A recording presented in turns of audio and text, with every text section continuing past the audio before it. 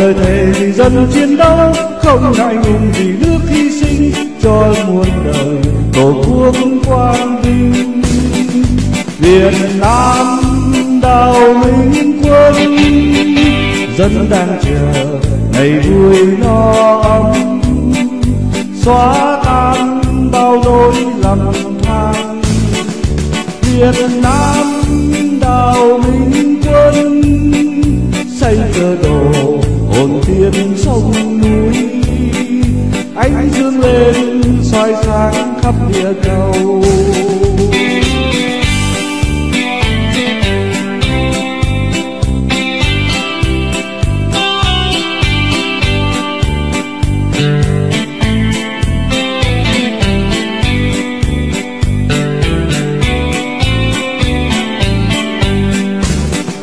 Đào minh quân, anh hùng cứu quên thân mình. Ngày ngày chung lo việc nước một lời thề vì dân chiến đấu, không ngại ngùng vì nước hy sinh cho muôn đời. Tổ quốc quang minh việt nam đào minh quân, dân đang chờ ngày vui no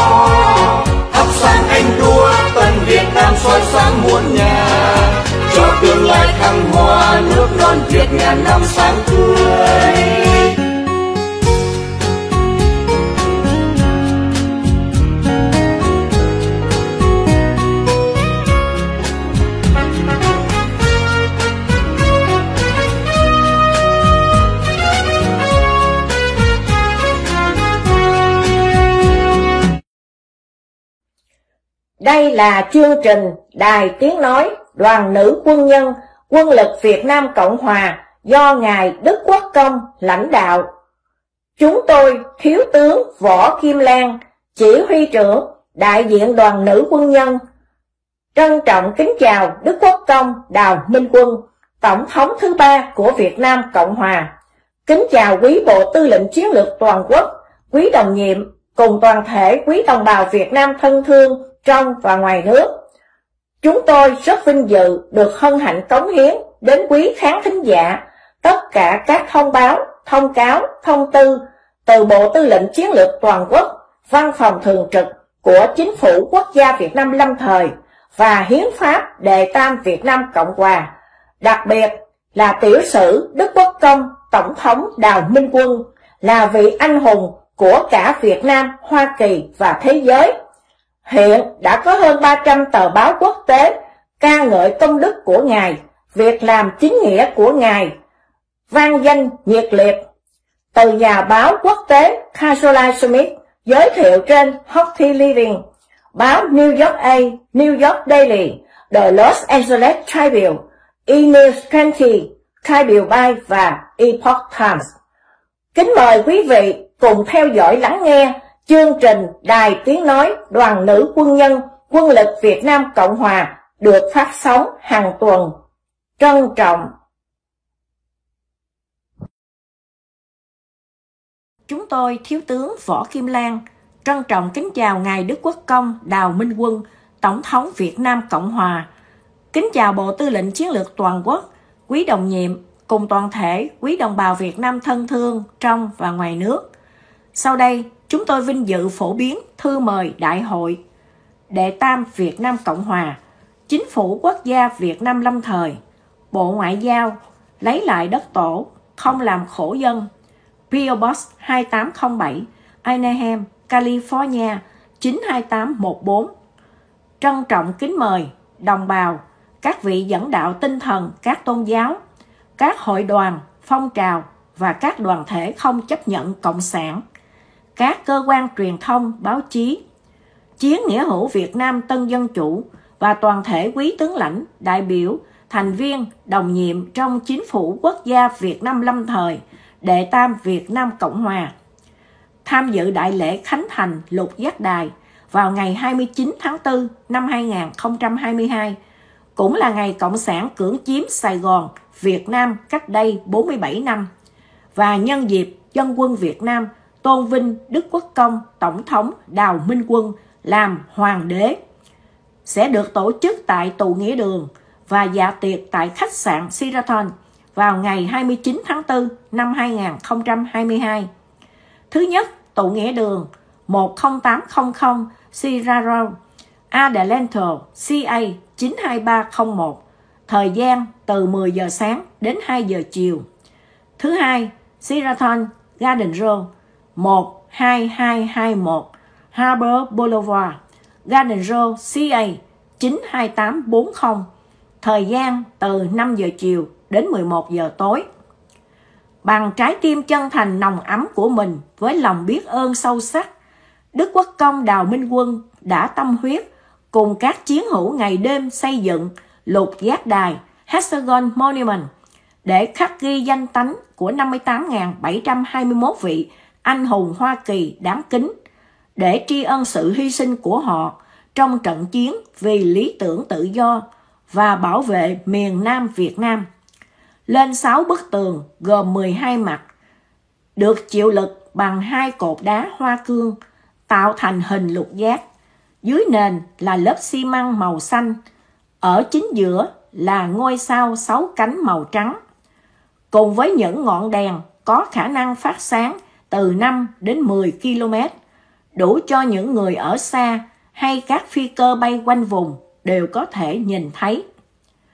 Tụ nghĩa đường là nơi lung linh huyền diệu, chứa đựng vô vàng bí ẩn lạ kỳ mà Đức Quốc Công Đào Minh Quân đã tu tịnh thiền định suốt hơn 20 năm ròng rã, đang chờ đón quý vị.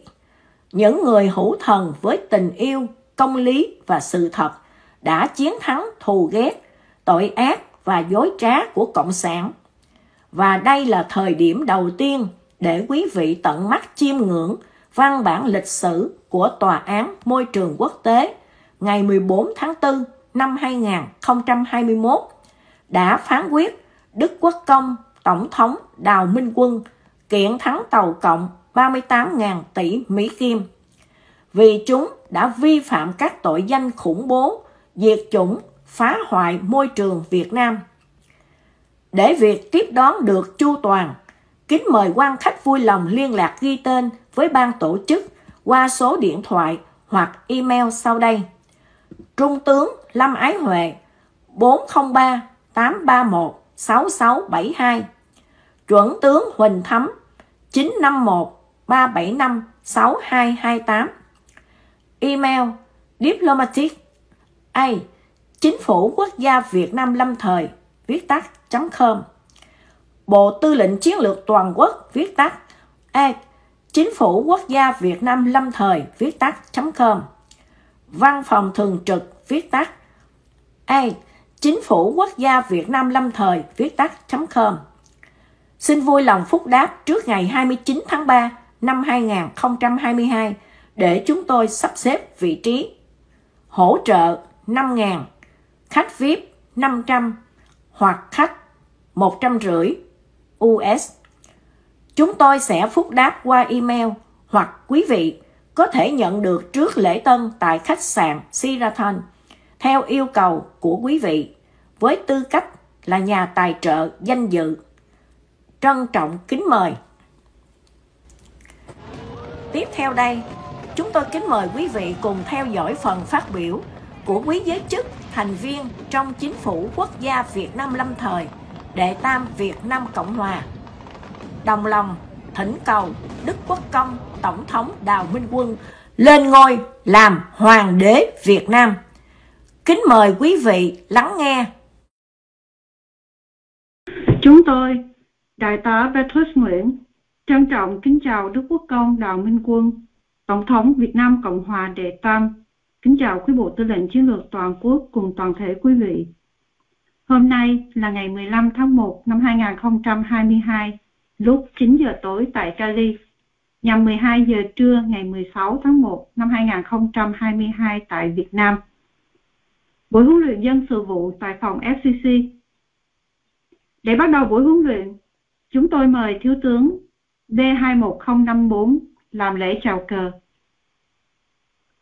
Trân trọng kính mời Đức Quốc công Đào Minh Quân, Tổng thống Việt Nam Cộng hòa Đệ Tam cùng tất cả quý đồng nhiệm trong chính phủ quốc gia Việt Nam lâm thời Đệ Tam Việt Nam Cộng hòa làm lễ chào quốc kỳ quốc ca Việt Nam Cộng hòa.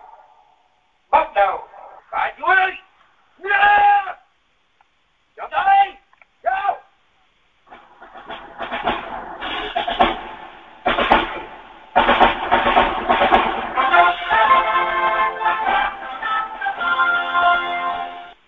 Sau đây là phút mặc niệm. Kính mời Đức Quốc công Đào Minh Quân, Tổng thống Việt Nam Cộng hòa Đệ Tam và quý vị dành một phút để tưởng kính hồn trên sông núi, chư anh linh, tiền nhân, liệt tổ, các anh hùng dựng nước và giữ nước, đặc biệt anh linh các chiến sĩ quân lực Việt Nam Cộng hòa và đồng minh. Xin phụ trì con cháu Việt Nam là hồng tiếp tục sự nghiệp lấy lại đất tổ không làm khổ dân, phát triển đất nước. Và cầu nguyện cho tất cả đồng bào, thân nhân đã bỏ mình trên biển cả. Trong rừng sâu, trong một tù cộng sản, được siêu thoát vào cõi phúc. Phúc mặc niệm, bắt đầu. Hỡi các đại nghĩa sĩ tân dân chủ, hỡi các anh chị em máu thịt Việt Nam chúng ta do dân tộc mà hình thành, vì dân chúng mà đấu tranh. Đúng vậy này tôi cho đến mãi mãi muôn muôn về sau, là màu mỡ cho đất đai, là kết tụ của tiếng Việt, là tự hào, là di sản cho con cháu. Tinh và hồn luôn luôn cùng sông núi. Sống thì phải cho lắm liêng mà thác cũng phải đáng tự hào. Bất khuất và hùng thanh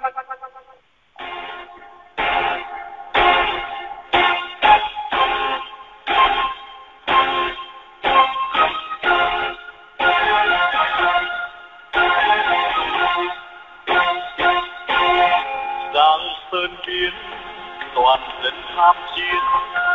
Được một lòng đưa tiến yêu hùng. Đập tan gái trai giữ vững non sông muôn đời. Xương thịt nát mỉm cười chín suối một hàng say tiếp nối đi sinh. Sông oanh liệt, chết oai linh, lưu bật khuất vang danh xa gần. Vì tổ quốc vong thân đáng trọng xác thịt ta dành công dân voi hùng trên để cầm ngài hồn kiếm xa bay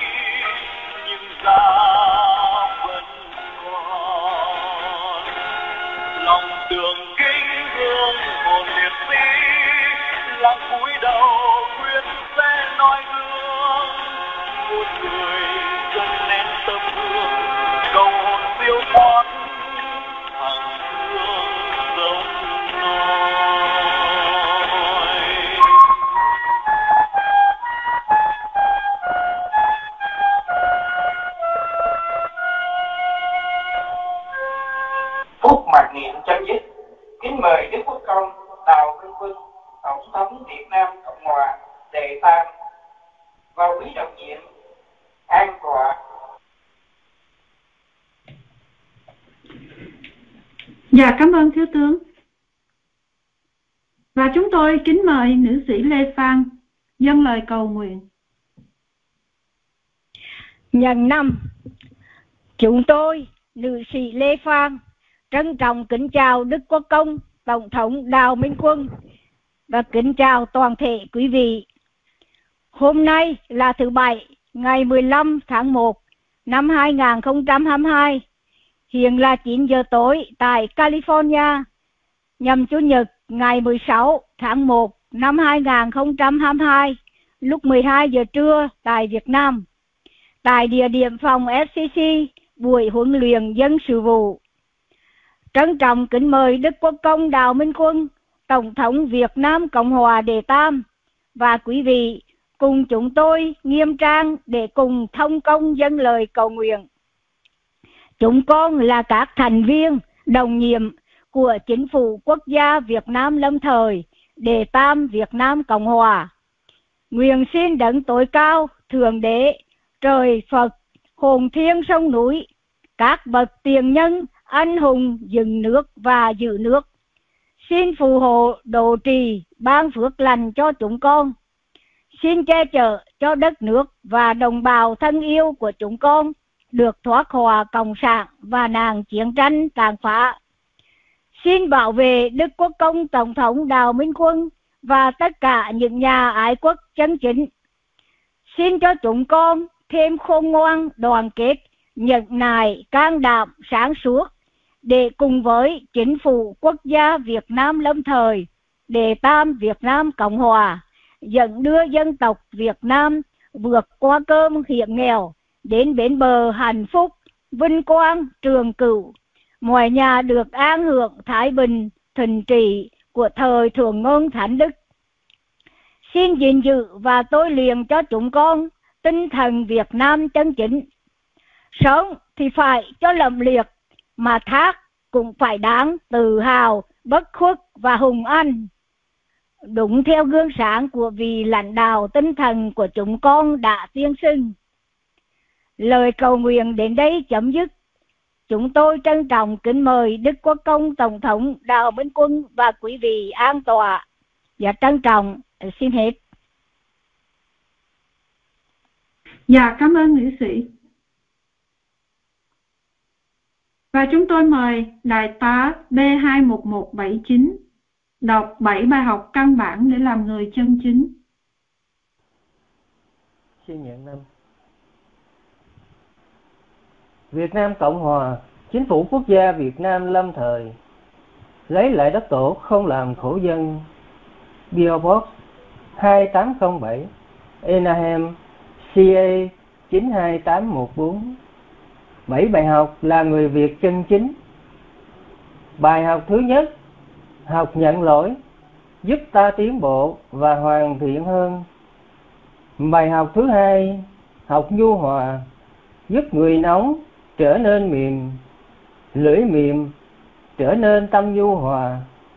Bài học thứ ba, Học nhẫn nhục, Giúp ta biết hóa giải Chuyện lớn hóa nhỏ, Chuyện nhỏ hóa không. Tập chịu đựng, Không cần phải đối đầu với những tiểu tặc. Bài học thứ tư, Học thấu hiểu, Giúp ta hiểu đối tượng, Tránh được tranh chấp, Hiểu lầm và thị phi. Bài học thứ năm, Học buông bỏ, Xả bằng thả. Bỏ tạp niệm, Dục vọng, Vì luôn làm ta bất an. Bỏ đố kỵ, Ganh ghét, Làm mất tâm lương. Bỏ tiêu cực, bi quan xa xúc sợ hãi, dẫn đến không thành công và trở nên hành động khác người. Bỏ tính lười biếng, cần cù siêng năng là tất yếu. Bỏ nóng giận, làm tổn thương người khác. Nóng giận là bản năng tự nhiên. Kiểm soát nóng giận là bản lĩnh chiến thắng bản thân. Bỏ tự ngã, cái tôi trung tâm điểm, bất cứ ai cũng có thể thay thế ta. Bỏ phiền não, những việc không được như ý chiếm đa số và đến mỗi ngày biến phiền não, thành điều để tôi luyện, để tiến xa, xuôi theo tự nhiên. Bỏ quá khứ, vì không thể thay đổi được, nhưng chỉ có thể tiếp nhận. Bỏ quán giận, vì làm mất nhân cách và mất ý chí. Không bao giờ, không phải lúc nào cũng thuận buồm xuôi gió mà luôn có thử thách. Bài học thứ sáu, học cảm động thấy được sự không may của tha nhân, có tâm thương yêu, tâm bồ tát, cảm thông. Bài học thứ bảy, học sinh tồn. Thân thể khỏe mạnh, hành vi yếu để và có lòng với con cái. Ghi nhớ, học làm người chân chính rất khó. Mỗi người sinh ra đều có giá trị của người đó. Hễ người nào sinh ra thì có chỗ riêng của người đó. Chúng tôi B2 1179 vừa đọc xong bảy bài học làm người Việt chân chính. Kính cảm ơn Đức Quốc Công, Bộ Tư lệnh Chiến lược Toàn quốc và toàn thể quý vị đã lắng nghe, trân trọng. Cảm ơn đồng nhiệm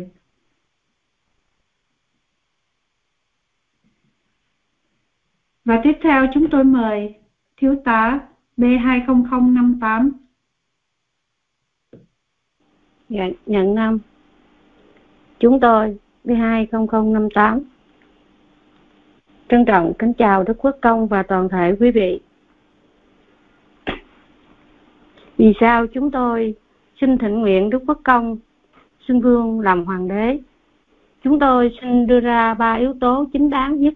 Thứ nhất, là tiểu sử của Đức Quốc Công Đào Minh Quân, minh bạch rõ ràng, yêu nước thiết tha, quyết phục hưng đất nước.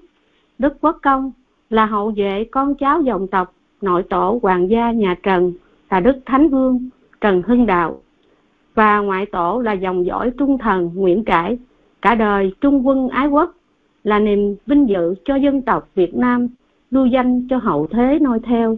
Đức Quốc Công còn được sấm ký nhắc đến Đến nay là buổi khoa tràng, minh quân xuất thế khắp đàn thảnh thơi và sự hy sinh liên lụy của Ngài không ngại gian khổ, không màng nguy hiểm đến tánh mạng, hy sinh cả gia đình, tiền tài, vật chất, bỏ lại sau lưng vợ đẹp con ngoan, luôn giữ vững lập trường kiên định chống cộng, chưa bao giờ trùng bước trước thế lực chống phá. Thứ hai, Đức Quốc Công với đức hy sinh phục vụ cả cuộc đời người Ngài lui vào sa mạc để tìm ra sách lược, duy thật là cộng, lật mặt nạ Hồ Chí Minh. Chiến thắng này là dấu mốc quan trọng trong công cuộc cứu nước và đường lối tâm trị là Việt Cộng, bỏ Cộng còn Việt, Việt không giết Việt. Ngài đã lập ra hiến pháp với cả tấm lòng thương yêu dân vô bờ bến. Hiến pháp với bốn chữ không làm khổ dân. Trong hiến pháp có rất nhiều quyền lợi dành cho người dân Việt Nam Tiếp đến, ngày 14 tháng 4 2021, Đức Quốc Công đã chiến thắng Tàu Cộng tại Tòa án Môi trường Quốc tế, đã đem lại niềm vinh dự và lòng tin của toàn dân Việt Nam. Thứ ba, vì dẫn nước đang nguy cấp từ năm 2017 đến nay thì được 10 triệu phiếu chứng tỏ người dân cũng đã hiểu được và cũng mạnh mẽ trưng cầu dân ý ủng hộ ngài nhưng nếu chờ đủ 20 triệu phiếu thì không biết bao lâu nữa. Và như thế sẽ phải tổng tuyển cử. Thì rất bất lợi vì bọn cộng sản ma mạnh chúng sẽ dùng bình mới rượu cũ và bọn giả danh Việt Nam Cộng Hòa sẽ lợi dụng. Thừa cơ trục lợi chúng sẽ tranh giành ra tranh cử. Và tổng thống thì có nhiệm kỳ chỉ 4 năm hoặc 8 năm, còn vua thì vĩnh cửu trường tồn. Nên chúng tôi rất mong muốn Đức Quốc Công là lãnh đạo Việt Nam mãi mãi để Việt Nam được trường tồn vĩnh cửu. Nên lúc này đây rất cần thiết và rất cấp bách, không thể chờ đợi được nữa. Việt Nam sắp lọt vào tay Tàu Cộng và càng chờ thì người dân càng đau khổ và càng chết chóc vì bệnh ung thư nhiều thêm. Nên chúng tôi tha thiết thịnh nguyện Đức Quốc Công Xuân Vương vì chỉ có Ngài là người xứng đáng để chúng tôi tôn vinh Ngài làm hoàng đế và chỉ có Ngài làm hoàng đế mới đúng theo sấm ký thì mới mong cứu được Việt Nam. Chúng tôi tha thiết thỉnh nguyện Ngài chấp nhận xưng vương, xin Ngài vì sự tồn vong của dân tộc Việt Nam, vì đồng bào thân yêu Việt Nam đang thôi thóp dưới chế độ Cộng sản Việt Nam. Từng ngày, từng giờ, chờ đợi quyết định của Ngài. Chúng tôi kính mong Ngài chấp nhận. Chúng tôi nguyện tận trung, quyết một lòng theo phò tá Ngài để đưa Việt Nam tiến lên đời thượng quân thánh đức, hưởng sự thái bình thịnh trị. Chúng tôi tin chắc với sự lãnh đạo của Hoàng đế Đào Minh Quân, Việt Nam sẽ giàu mạnh, hưởng được không khí trong lành sạch và xanh. Nguồn nước sạch, thực phẩm sạch, trái đất sạch và một quốc gia sạch. Ngài sẽ lập lại kỹ cương diền mối đạo nghĩa của ông cha ta đã cố công gìn giữ, nhất định Cộng sản phải tan rã, nhất định Đức Quốc công Đào Minh Quân làm hoàng đế, nước Việt Nam sẽ giàu mạnh và trường tồn vĩnh cửu. Chúng tôi B20058 trân trọng kính thỉnh nguyện, kính cảm ơn Đức Quốc công và quý vị đã lắng nghe. Trân trọng.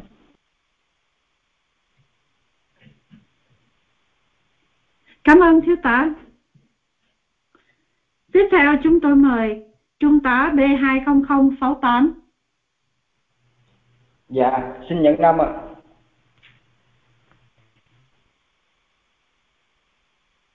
sáu Tám trân trọng kính chào Đức Quốc công Tổng thống Đào Minh Quân cùng tất cả quý vị. Chúng tôi và tất cả đồng bào Việt Nam rất hân hoan vui mừng khi được chào đón Đức Quốc công trở về Việt Nam giúp dân triệt tiêu chế độ tà quyền cộng sản Việt Nam, cứu đất nước thoát bàn tay thôn tính Việt Nam của Tàu Cộng. Chúng tôi rất mong muốn và xin thỉnh cầu Đức Quốc công Tổng thống Đào Minh Quân lên ngôi hoàng đế Việt Nam để Đức Quốc công sớm thống nhất dân tộc Việt Nam lập nên thể chế quân chủ lập hiến để điều động toàn dân đoàn kết, sớm mau chống triệt tiêu cộng sản Việt Nam và đối phó với giặc ngoại xâm giúp đồng bào, sớm triệt tiêu tận gốc rễ cộng sản Việt Nam, đuổi tàu cộng phúc khỏi lãnh thổ Việt Nam giúp đồng bào ngăn chặn, triệt hạ những nước tay sai, đồng bọn của tàu cộng đang có những âm mưu gây rối cho việc trở lại của chính phủ quốc gia Việt Nam lâm thời. Để ngài triệt hạ những hành động nhất chức của con đảng tàu cộng cho âm mưu sống lại của cộng sản Việt Nam, cho nên chúng tôi, chúng ta phải thật cầu xin Đức Quốc Công sớm nhận ngôi vị hoàng đế vì như vậy thì đồng bào Việt Nam năm mới sớm và mãi mãi thoát được quả cộng sản mới có được đời sống tự do ấm no hạnh phúc để đất nước Việt Nam không còn bị thao túng bởi bàn tay đào cộng cũng như không còn bóng dáng của đào cộng trên quê hương Việt Nam. Đức Quốc Công có thừa khả năng bản lĩnh tài trí độ để chăm lo cho dân, để bảo vệ cho đất nước Đức Quốc Công là người thật, việc thật, tâm thật, hành động thật và đã mang lại cái thành công chiến thật. Về cho đồng bào tổ quốc Việt Nam chứ không như những cá nhân hội đoàn nhóm đạo đức giả luôn miệng nói thương dân yêu nước mà không hề dám đứng ra đi đầu tiêu diệt cộng sản. Và chúng tôi muốn nói đến những người không muốn không làm hoàng đế là những thành phần không ra gì, không đáng gọi là công dân Việt Nam. Vì bọn họ chỉ có cái miệng nói, thương dân yêu nước. Đó là lệnh điệu bị dân hàng ngày của cộng sản thì có được tích sự gì? Chỉ lừa gạt hại dân. Thật ra bọn họ không hề làm được việc gì có ích cho đồng bào và tổ quốc. Những loại người này, có ai vì dân mà dám đứng ra đối đầu với cộng sản không? Có ai thành công chiến thắng triệt hạ được cộng sản Việt Nam không? Và ngay cả thế giới có ai có tài trí thắng được tập cận bình không?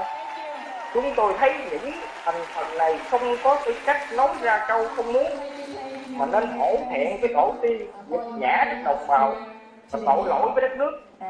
Bản thân chúng tôi chỉ cần đồng bào Việt Nam chúng tôi được thoát họa cộng sản được tự do ấm no hạnh phúc. tổ quốc Việt Nam chúng tôi được thái bình thịnh trị thì cho dù có tan xương nát thịt chúng tôi vẫn cam tâm tình nguyện. Chứ đừng nói chi là việc tôn kính một vị thật xứng đáng như Đức Quốc Công lên ngôi hoàng đế. Đức Quốc Công thực sự thương dân yêu nước được nhìn thấy qua tâm chứng minh bằng hành bằng thành công chiến thắng đồng bào Việt Nam muốn thoát quả cộng sản thì phải chứng minh thực hiện bằng hành động từ tâm vì chúng tôi cũng như tất cả đồng bào Việt Nam phải hiểu là chúng ta đang được và cần Đức Quốc Công cứu thoát khỏi quả cộng sản chứ không phải chúng ta đang cứu trong Đức Công. thế thì có phải những hành động cố tình gây rối hay cố tình phản đối với công lên ngôi hoàng đế là lộ người không ra gì là cặn bã của xã hội không? Và bản thân chúng tôi nghĩ muốn đồng bào Việt Nam được sớm mãi mãi tự do, ấm no, hạnh phúc tổ quốc Việt Nam sớm được thái bình, thì chúng ta chỉ cần đi thẳng và đúng theo con đường của Đức Quốc Công vạch ra, luôn học hỏi, làm theo tấm gương sáng và tinh thần của ngài đạo minh quân là sẽ thành công giúp được dân cứu được nước cũng như con đường giúp dân cứu nước của Đức Quốc Công đã thành công chứng minh cho đồng bào Việt Nam và cả thế giới thấy, Ngài đã chiến thắng Tàu Cộng và Tập đoàn Cộng sản Việt Nam. Và chỉ có mỗi Ngài làm được mà thôi. Cho nên chúng ta không cần phải đi ý hay nghe ngóng những lời, những tác động của những kẻ không ra gì kia để làm gì. Vì họ chả làm gì được, có lợi cho dân cho nước chúng ta hãy tin tưởng đi theo con đường mà Đức Quốc Công đã đi. Đã thành công thì đất nước Việt Nam sẽ thoát họa cộng sản và quốc thái dân an tất cả đồng bào Việt Nam hãy chuẩn bị tinh thần nhận lệnh hiệu triệu hoàng đế đạo quân trong tinh thần đào minh quân và hành động. Yêu nước thật tâm để cùng ngài lấy lại đất tổ. Không làm khổ dân triệt tiêu tận gốc rễ cộng sản Việt Nam tuổi tàu cộng của lãnh thổ Việt Nam để đem lại tự do, ấm no, hạnh phúc cho bào, đem lại thái bình thịnh trị cho đất nước trung tá B20068 thành tâm kính xin Đức Quốc Công lên nhận ngôi vị hoàng đế Việt Nam Xin cảm ơn Đức Quốc Công cùng tất cả quý vị đã lắng nghe. Xin trân trọng. Cảm ơn Trung tá. Tiếp theo chúng tôi mời Trung tá B20038.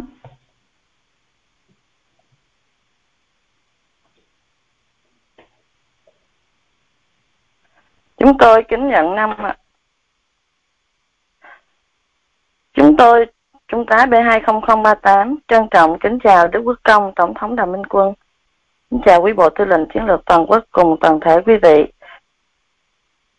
Kính thưa quý vị, từ khi chúng tôi tham gia vào chính phủ quốc gia Việt Nam lâm thời, chúng tôi luôn luôn sẵn sàng học và noi gương theo đức hy sinh, đức nhẫn nhục, hy sinh, kim cung của Đức Quốc Công. Kính thưa quý vị, chúng tôi nhận định rằng vì khi Ngài Đức Quốc Công lên ngôi hoàng đế, Ngài sẽ triệt tiêu đảng Cộng sản Việt Nam tận gốc rễ và Cộng sản Tàu Cộng vì chỉ có duy nhất một mình Ngài Đức Quốc Công, Ngài mới cứu được dân tộc Việt Nam của chúng tôi thoát nạn kiếp luân hồi của loài quỷ đỏ, đảng Cộng sản Việt Nam. Và cũng chỉ có một mình Ngài Đức Quốc Công mới cứu được dân tộc Việt Nam của chúng tôi, mới sống lại từ trong cõi chết.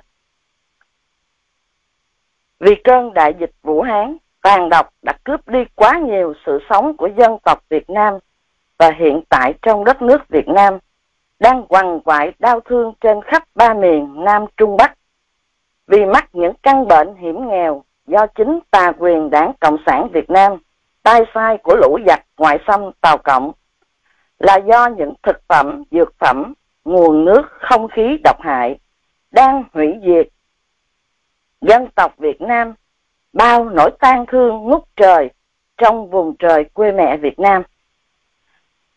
Chúng tôi trân trọng thành tâm kính thỉnh nguyện Ngài Đức Quốc Công, Tổng thống Đào Minh Quân kính yêu của dân tộc Việt Nam. Chúng tôi kính thỉnh nguyện Ngài Đức Quốc Công lên ngôi hoàng đế, Đức Vương Đào Minh Quân. Chúng tôi luôn luôn trong tư thế sẵn sàng, chuẩn bị sẵn sàng và luôn nhớ nằm lòng lời hiệu triệu của Đức Quốc Công, Tổng thống Đào Minh Quân đã truyền dạy dân tộc Việt bất khuất, cương thổ Việt bất phân, nhân dân Việt bất ly. Thưa quý vị, từ khi chúng tôi tham gia vào chính phủ quốc gia Việt Nam lâm thời, chúng tôi tuy sự hiểu biết chậm nhưng chúng tôi cố gắng học vì chậm sẽ chắc. Và khi chúng tôi tìm hiểu, đọc qua những bài thơ cảm ngày cảm tác, chúng tôi cảm nhận được sự hy sinh của Đức Quốc Công, yêu dân tộc Việt Nam vô bờ bến như qua bài thơ trơ trọi. Ngài cảm tác chúng tôi kính xin được đọc chia sẻ cùng với quý vị. Các nguồn sa mạc có ai đây?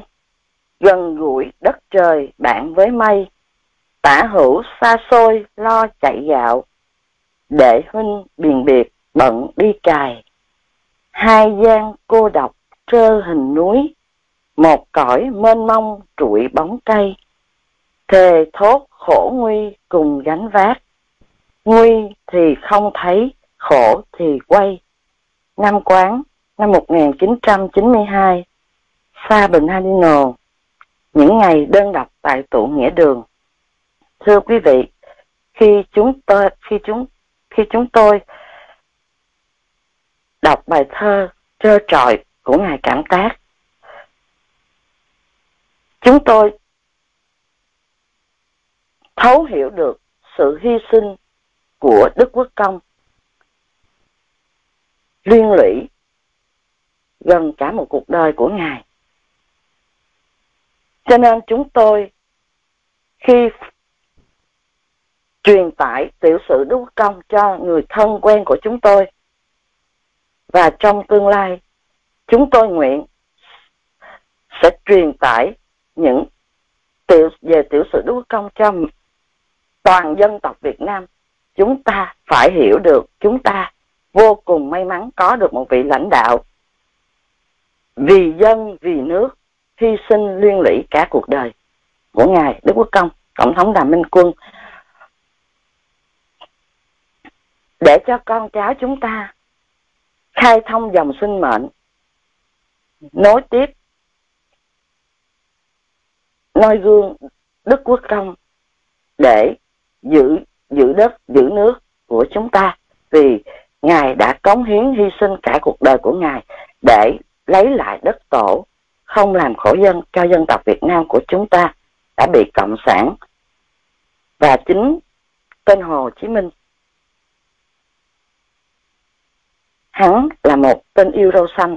Hắn đã vào đất nước Việt Nam của chúng ta. Hắn hủy diệt biết bao dân tộc con người Việt Nam của chúng ta bao thế hệ. cho nên chúng tôi nghĩ trong suy nghĩ mình chia sẻ tiểu sử hoặc truyền tải kể cho người dân. con cháu chúng ta về tiểu sử của Đức Công để cho họ hiểu được vị lãnh đạo của chúng ta phải thật thấu đáo tường tận về sự hy sinh của vị lãnh đạo chúng ta. đó là ngài Đức Quốc Công để cho con cháu chúng ta không có lầm đường lạc lối như trong quá khứ mà ông cha chúng ta đã bị mắc phải. điều đó rất là đây đau xương đó là bài học xương máu mà chúng ta phải luôn ghi nhớ. cho nên chúng tôi gói ghém những nỗi niềm thấu hiểu về vị lãnh đạo của chúng tôi. đó là Đức Quốc Công Tổng thống Đàm Minh Quân.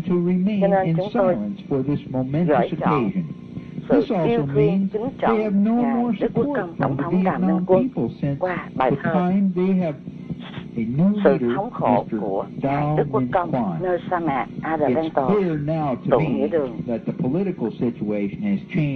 Hơn 30 năm tìm đường cứu quốc, mái tóc xanh Ngài giờ đã điểm xương, sáng lập nên tân dân chủ oai hùng, lòng khắc sâu chữ đồng bào nước Việt. Lời tuyên thệ với hai dòng nước mắt, gánh trên vai ngài xã tắc Sơn Hà, quyết dẹp trọng trên quê cha đất mẹ, đem thái bình hạnh phúc đến toàn dân. Ai thấu hiểu lòng ngài bao nhẫn nhục. Nhìn quê hương đang ngàn cặp đau lòng. Từ triệu phú ngài không màng danh lợi. Dấn thân vào sa mạc tự tập tu.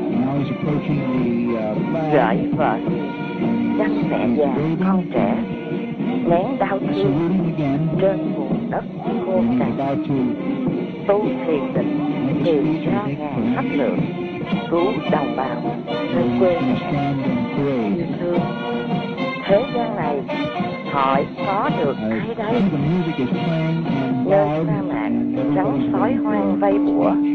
Ngày nắng cháy da gió cát rát người màn đêm xuống thấu xương. tìm cái lạnh sống qua nước lạc với mì khô. Hơn 20 năm sống nơi sa mạc. trải lòng ra ngài đổi lấy chữ nhân. Ngài tôn kính ngũ vị tướng anh hùng. sự lưu truyền hậu thế cho dân việt. Dòng máu lạc hồng diệt bọt ngoại xâm tuổi thanh xuân ngài thời gian đã lấy. Ai thấu hiểu ngài dân tấm lòng son. Một trái tim đau, một trái tim yêu dân trọn một đời. Vì dân tộc, ngài hiến thân vì nước. Tám chữ thiên thề lấy lại đất tổ, đem thái bình, quyết không làm khổ dân tâm ngài gai rứt lòng ngài quặn thắt nhiệt cảnh cuộc đời ngài ai thấu chăng tâm huyết ngài viết ra thập bát thức. mười tám điều suy niệm thật sâu xa. thấu tâm can suy ngẫm điều ngài viết nhân đức đạo đời hậu thế khắc ghi trong bảy bài học làm người chân chính học nhu hòa để tôi luyện bản thân. Ý nghĩa từng bài ngài lấy chữ nhân tấm gương ngài luôn nhân từ đức độ. Chữ minh quân chiếu uy nghi ngời sáng. Lúc thiếu thời anh dũng vượt hơn người. Đức quốc công mở trang oai hùng sử lưu danh sử sách ngài đào minh quân con chắp tay đem khấn nguyện, cúi sinh hồn sông núi, đứng bề trên, nhìn thấu được tâm ngài ban trí huệ, hồng ân cho lòng thiện. Xin che chở hộ trì ngài, mãi mãi được bình an. Chúng con trân trọng cẩn chúc kính thưa quý vị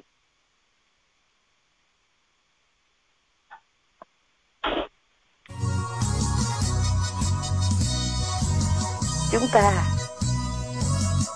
Thấu hiểu được đức quốc công thì chúng tôi phải cố gắng noi gương đức quốc công và chúng tôi muốn luôn truyền đạt cho mọi người dân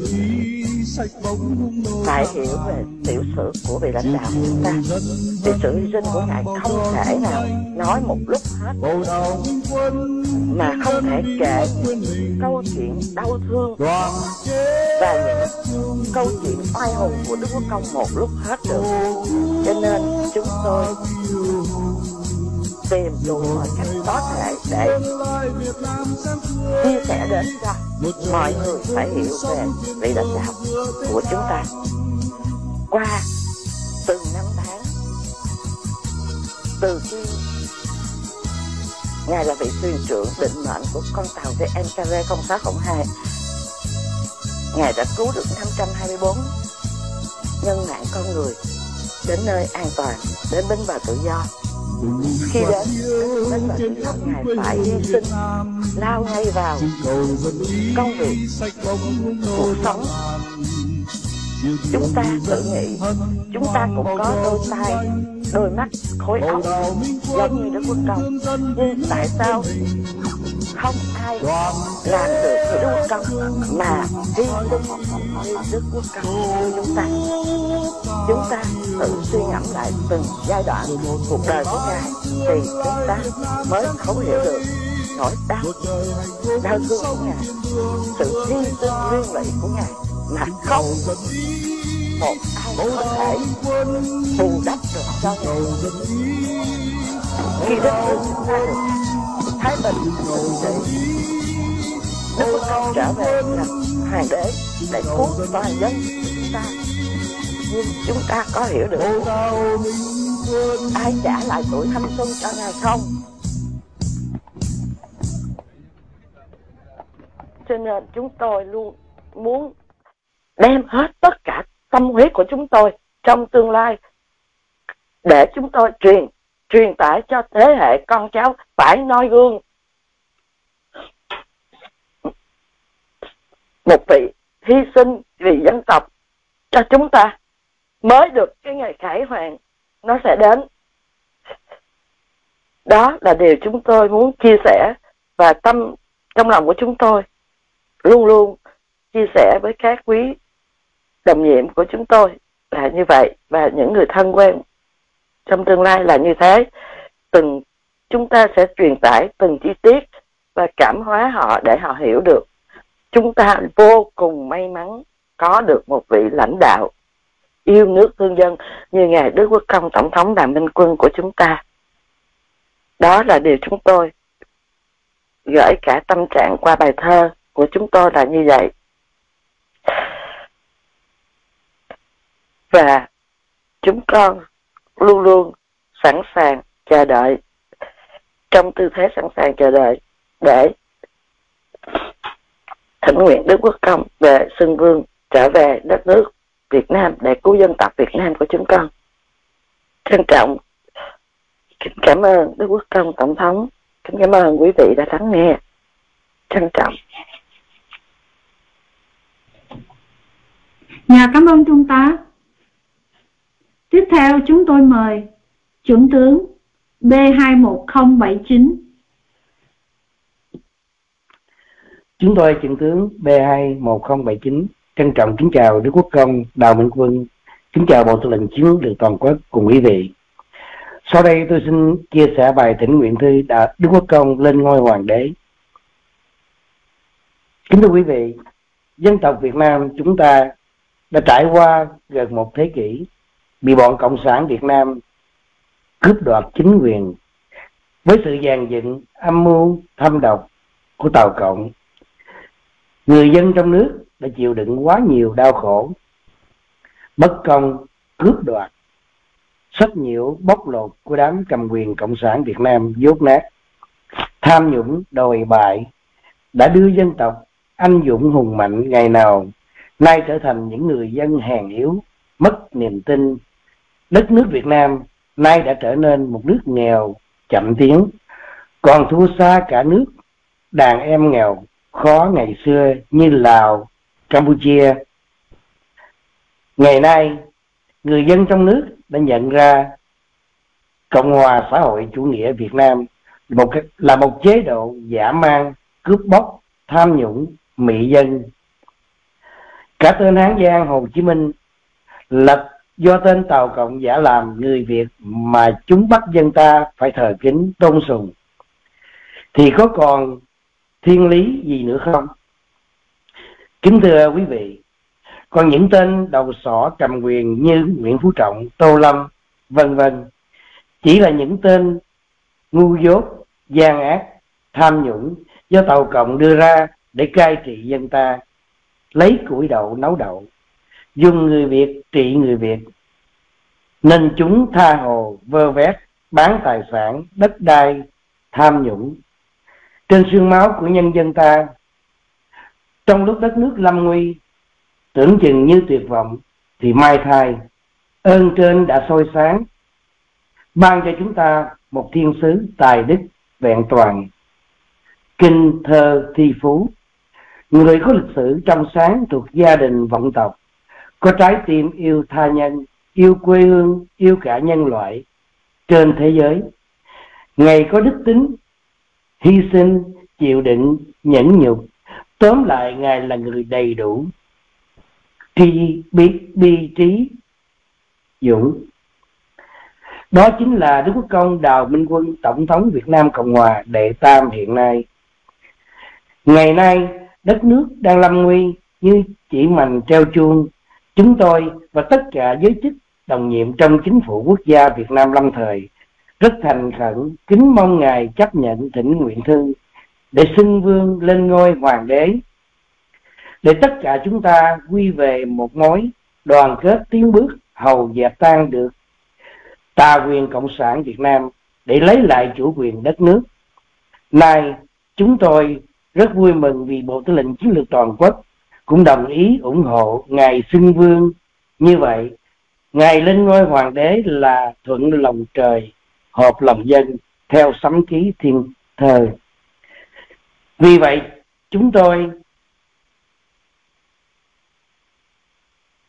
kính mong ngài chấp nhận lên ngôi hoàng đế để sớm giải thể chế độ độc tài ta và giải thể cộng sản việt nam cứu nguy dân tộc mang ấm no hạnh phúc đến cho người dân chúng tôi Thượng tướng B21079 xin trân trọng cảm ơn Đức Quốc Công, cảm ơn Bộ Tư lệnh Chiến lược Toàn quốc và quý vị đã lắng nghe. Xin trân trọng. Dạ, cảm, dạ, cảm ơn Trung tướng. Tiếp theo chúng tôi mời B20564. Nhắn năm ạ. À.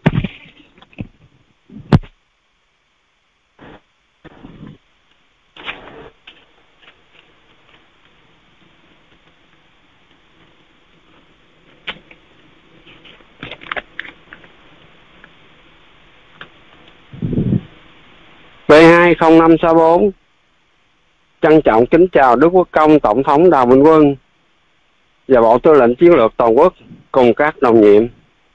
Đồng nhiệm xin trân trọng thỉnh cầu, thỉnh nguyện Ngài Đức Quốc Ngài Đức Quốc Công Tổng thống Đào Minh Quân lên làm hoàng đế.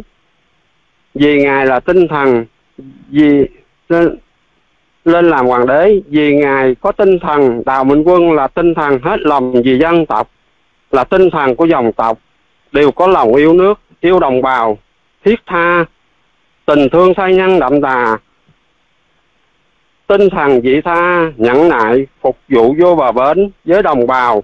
Ngài là vị tiền thân, dòng tộc, nội tổ và ngoại tổ, đều là các vị được dân tộc việt nam tôn thờ công ơn, làm lên lịch sử cho non sông nồi giống lạc hồng, là những những vị được thời thế tạo lên anh hùng bất khuất hào hùng quanh liệt, do giặc phương quốc, do giặc phương quốc dày xéo, tàn phá trên quê hương ta. Sau năm sau năm 1945 thế chiến thứ hai vừa kết thúc thời thế loạn lạc, quỷ ma ra đời, quỷ dương kêu gọi nhân đờn, người người yêu nước sao làm giáo chơn. Thời kỳ còn tranh tối tranh sáng, dân tộc ta tư tưởng chưa thoát khỏi một một ngàn năm bị nô lệ giặc tàu, trăm năm đô hộ đô hộ giặc tây dân ta chưa lấy lại chủ quyền toàn cõi việt nam kế thừa từ vua bảo đại trao lại cho ngài trần trọng kim và ngài ngô đình diệm thờ cơ tên giặc tàu là già hồ chí minh đã cướp thời thế giật lấy chính quyền từ tay ngài trần trọng kim năm 1945 và ngày 30 tháng 4 năm 1925 cướp chính quyền Sài Gòn sát hại đồng bào ba miền. Trên 3 triệu người dân vô tội, bọn chúng là quỷ sa tăng. Bọn chúng không bỏ sót tội lỗi nào. Thần tượng của bọn chúng là quỷ sa tăng. Công lao 46 năm của bọn chúng là công lao 46 năm của chúng là cướp chính quyền Sài Gòn, là mở mở thêm nhiều chiến dịch để đánh phá chính quyền đệ nhất và đệ nhị, giết hại đồng bào ba miền thường dân vô tội mà chúng gọi là thành tích và công trạng trên xương máu và nước mắt của đồng bào và các đồng minh và và và năm năm mươi tám bảy trăm hai mốt quân nhân Hoa Kỳ để bảo vệ tự do cho quê hương Việt Nam theo Hiệp định Geneva năm 1954 và chia cách hai miền Nam Bắc từ vĩ tuyến 17.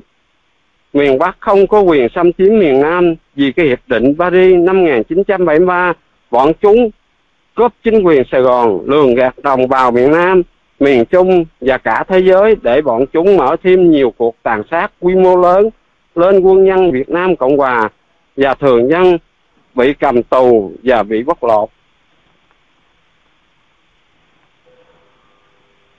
Chúng cướp bóc từ hạt muối sợi chỉ, miếng giường và mảnh đất của ông cha ta để lại cho con cháu mà bọn chúng bọn chúng dù vũ bọn chúng dù, dù dùng vũ lực tam cấp cấp phường và cấp quận và cấp thành phố để chấn áp cưỡng bức và thủ đoạn chiếm lấy và hợp thức hóa cho tên đầu đảng của bọn chúng.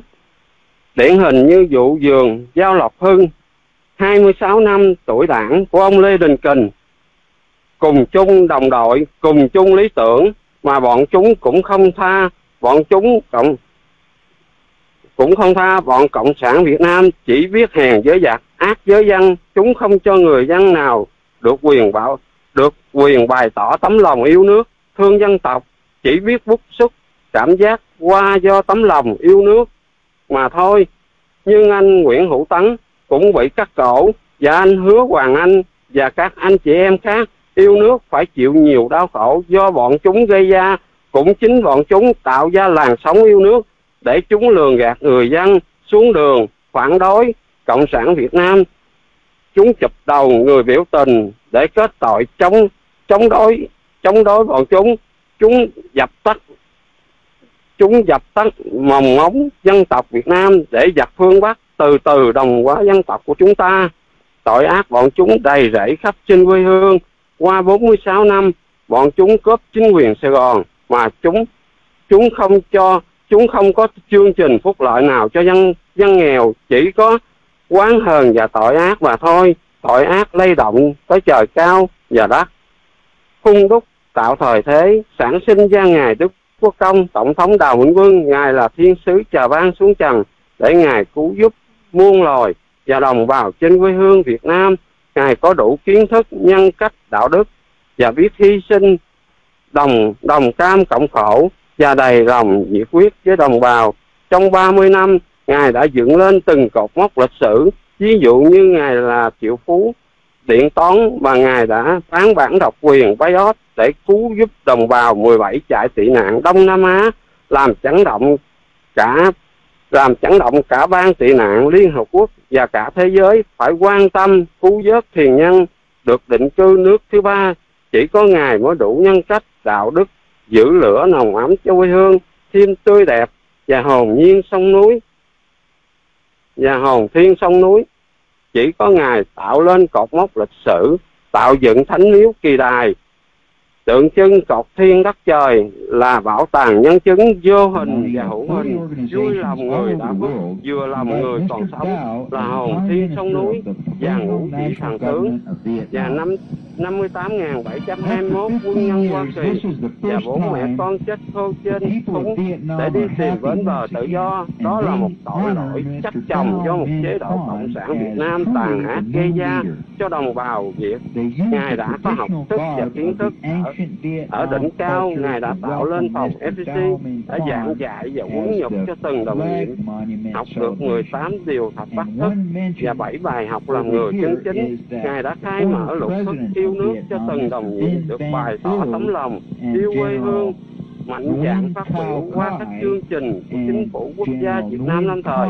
Ngài là một lãnh tụ có tiếng nói hơn, có một tiếng nói lớn, một lời nói của Ngài hàng triệu đồng bào quốc nội. đang âm thầm lắng nghe và cũng cũng cùng xin cùng xin chung tay góp sức quý đặt mặt và hồ và Hồ Chí Minh xin tham gia chính phủ để cùng góp sức công sức nhỏ bé để tỏ bài cùng Ngài giải thể tà quyền cộng sản trên quê hương. bọn chúng chỉ là hại dân bán nước hèn với giặc ác với dân suốt chiều dài 46 năm qua, một đời người, một thế hệ mà giặc phương bắc tôn tính để đồng hóa đồng bào chúng ta bị mai một. Vì thế, việt nam của chúng ta chắc cần một vị lãnh đạo, biết yêu thương thương dân tộc, có kiến thức và biết hy sinh đồng cam cộng khổ và đầy lòng nhiệt quyết đạo đức và chân thành đủ sức mạnh để thắp sáng lại niềm tin cho toàn dân ngài là một thiên sứ thiên sứ, trời ban xuống thiên sứ, trời ban xuống trần để để giải cứu nhân dân, để để giải cứu giải cứu dân độ thế ngài đã thể hiện qua 30 năm bằng tấm lòng và hành động. Bao dung cho dân tộc, ngài đã tạo dựng tạo dựng từng cột mốc lịch sử hào hùng dân tộc. Nay đầu năm 2022 thiên thời địa lợi đồng nhiệm cầu sinh quý đại biểu quốc nội và các tướng lĩnh trong và ngoài nước nên ủng hộ đầu ngài Đức Quốc Công, Tổng thống Đào Vĩnh Quân tuyên bố hoàng đế chỉ có ngài thiên sứ, chỉ có chỉ có ngài là thiên sứ, nhưng ngài mới là vị anh hùng làm lên thời thế. Và chỉ có ngài đủ bản lĩnh, khả năng đánh tan cộng sản trên thế giới này. Vì cộng sản trên thế giới này sẽ len lỏi để chờ thời cơ cấp chính quyền, để hại dân bán nước nên đồng nhiệm, đồng ý, thỉnh cầu ngài Đức Quốc công, tổng thống Đào Vĩnh Quân tuyên bố hoàng đế được toàn quyền quyết định định mệnh đất nước, tránh đi những cuộc binh chiến về sau cho đất nước được thái bình dài lâu, xây dựng lại Sài Gòn Hòn Ngọc Viễn Thông như xưa trân trọng kính chào cảm ơn Đức Quốc công và Bộ Tư lệnh Chiến lược Toàn quốc và cùng các quý vị lắng nghe xin hết ạ. À. Cảm ơn đồng nhiệm. Tiếp theo chúng tôi mời đồng nhiệm B20752.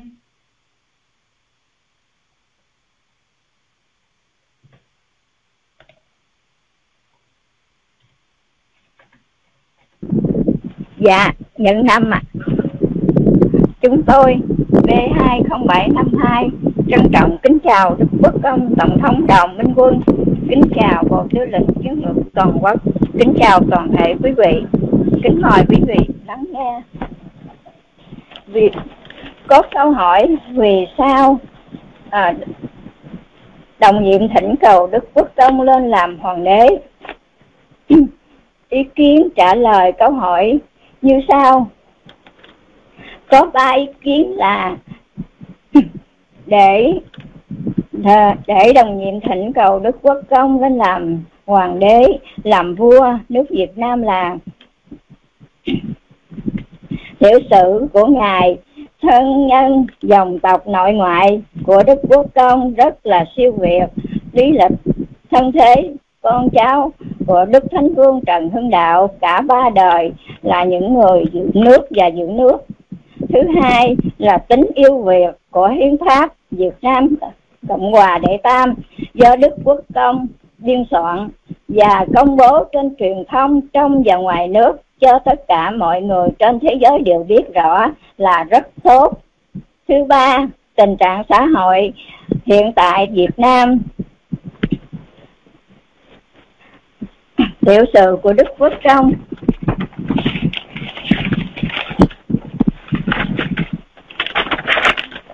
Tổng thống đầu Minh Quân chào đời năm 1952 tại làng Thị Nghè, tỉnh Gia Định.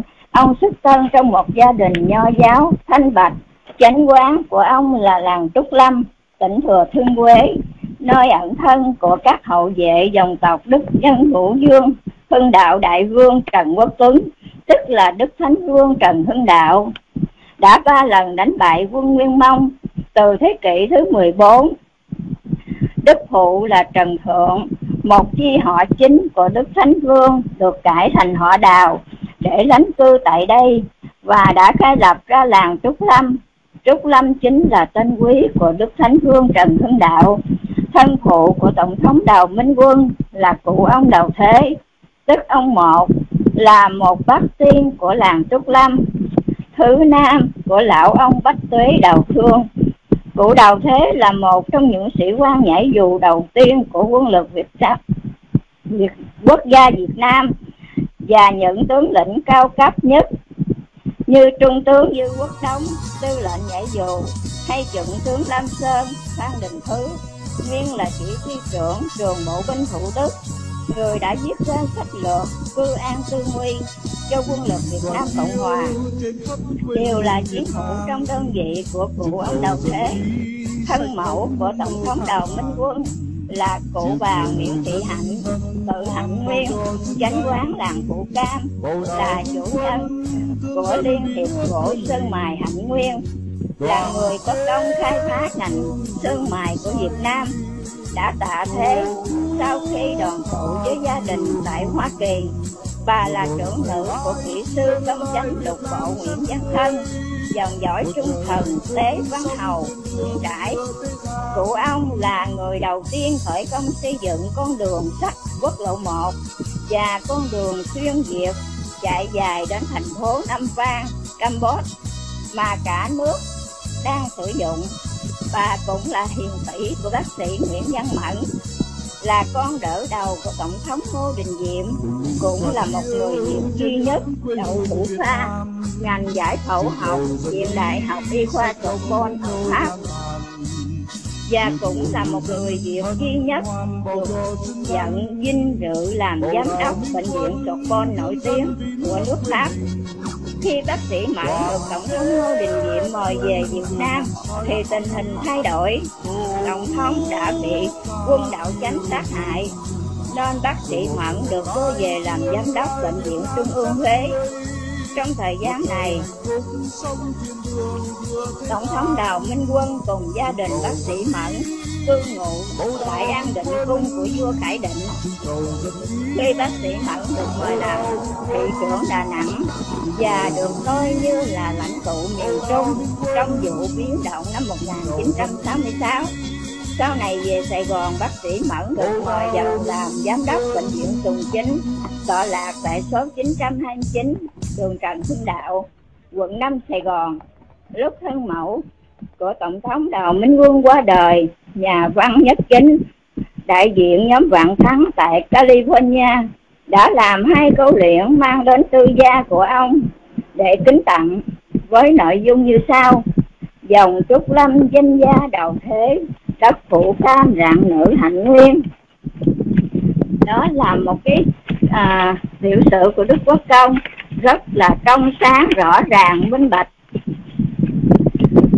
vấn đề thứ hai là hiến pháp.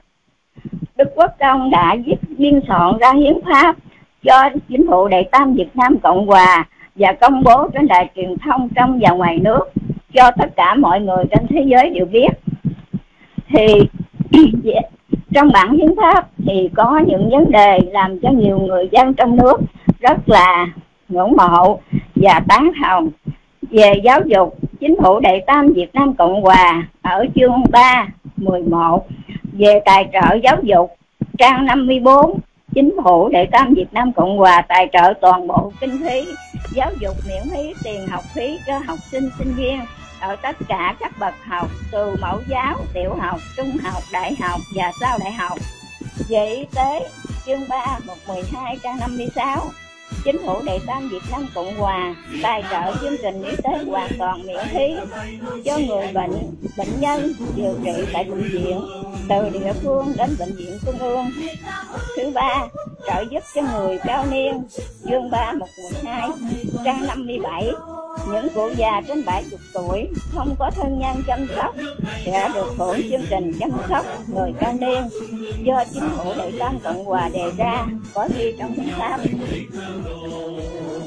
go chính phủ Việt Nam Cộng Hòa trao quyền dân ý cho công dân của Đại Tam Việt Nam Cộng Hòa.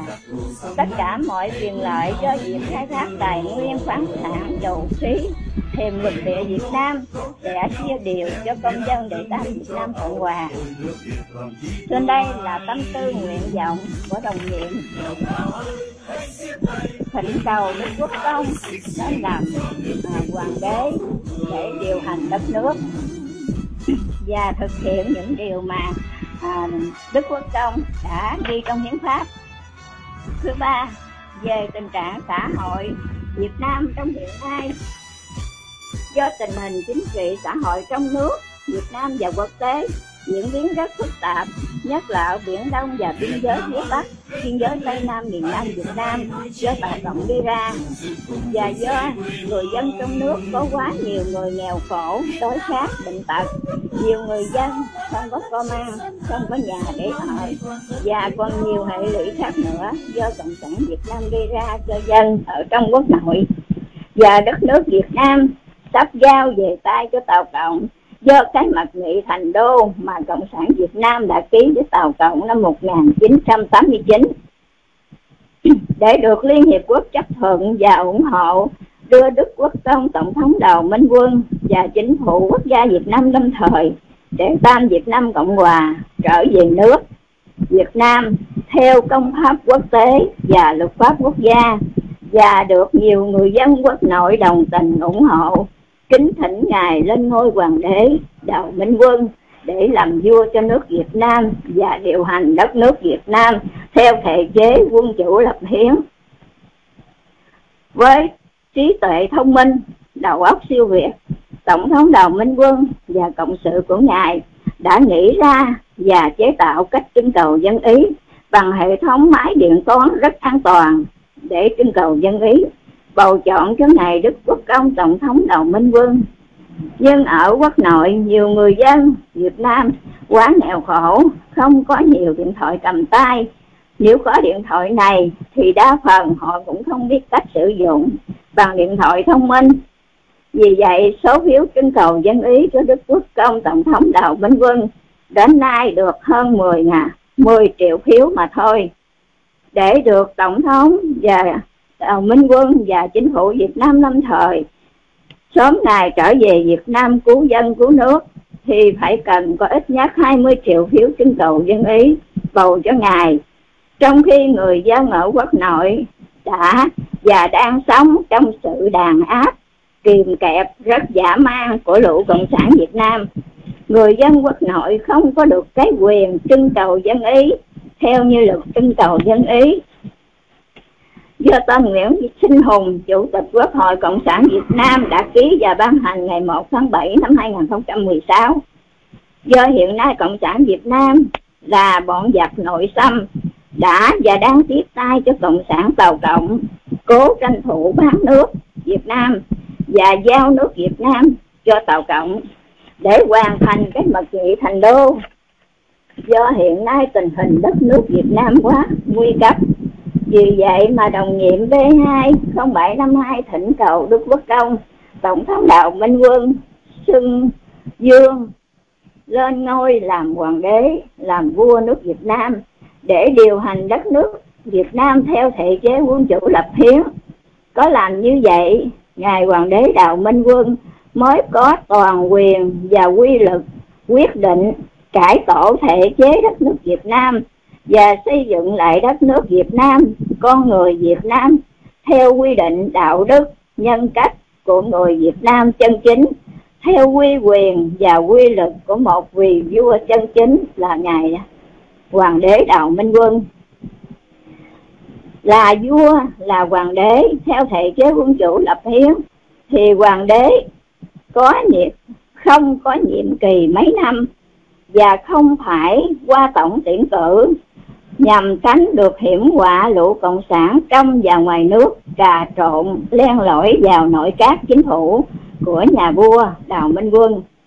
Đồng thời tránh được cái nạn gian lận phiếu bầu với bọn cộng sản Việt Nam và cộng sản Tàu Cộng xấu xa, giả man âm mưu cướp nước ta từ hàng ngàn năm qua. Với một vị vua tài năng đức độ trí tuệ trí huệ như ngài đào minh quân yêu dân yêu nước. Ngài một lòng quyết tâm lấy lại đất tổ không làm khổ dân và ngài quyết tâm bảo vệ dòng giống dân tộc việt và một lòng quyết tâm đánh đuổi lũ giặc tàu ra khỏi đất nước ta lấy lại chủ quyền toàn vẹn lãnh thổ của nước việt nam.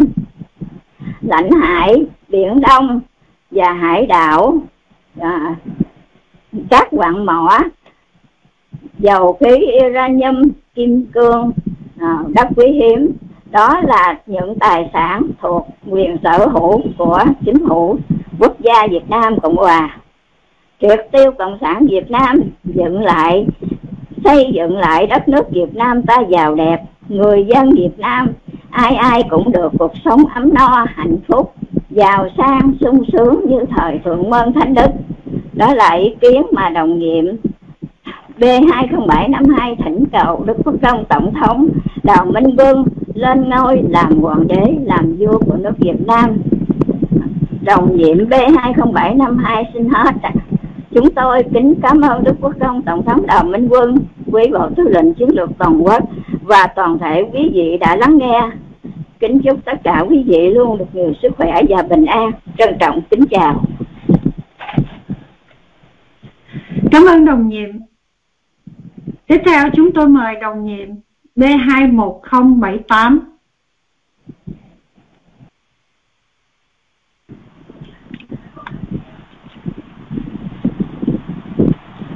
Chúng tôi đồng nhiệm B21078 trân trọng kính chào Đức Quốc công Tổng thống Đào Minh Quân, kính chào Bộ Tư lệnh Chiến lược toàn quốc cùng tất cả quý vị.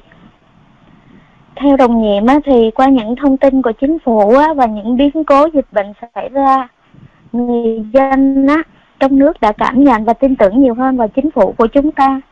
Có nhiều người đã tham gia vào chính phủ và dấn thân cho công cuộc cứu quốc và đã có hơn 1 triệu 162.823 người dân à, lượt người dân ghi danh để được đón ngài tại ba địa điểm quy định và đã có 100 nhân sĩ và đồng bào yêu nước tham gia chính phủ.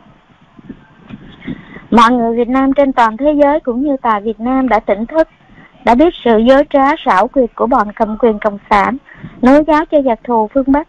Họ đã nối kết thành sức mạnh để giúp bản thân và mọi người đoàn kết chống lại kẻ thù bán nước hại danh. Chúng ta đã may mắn có được ờ, một đấng anh hùng vĩ đại, có một trong hai trong kỷ nguyên này là Đức Quốc công Tổng thống Đào Minh Quân. Ngài đã tạo nên kỳ tích lật mặt kẻ giả danh cha già đất Việt là Hồ Chí Minh và nay toàn dân đã cùng nhau luyện cống hánh để xóa sạch vết nhơ thế kỷ.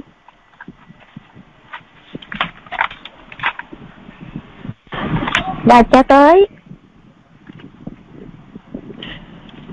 ngày 14 tháng 4 năm 2021, Ngài đã lập nên một chiến công lớn là thắng giặc tàu 38.000 tỷ Mỹ Kim, gây chấn động cả thế giới toàn cầu.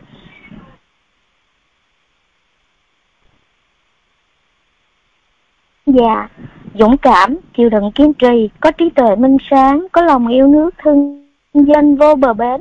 Ngài đã hy sinh cả tuổi trẻ anh vào sa mạc tụ nghĩa đường hơn 20 năm tìm đường giúp dân cứu nước.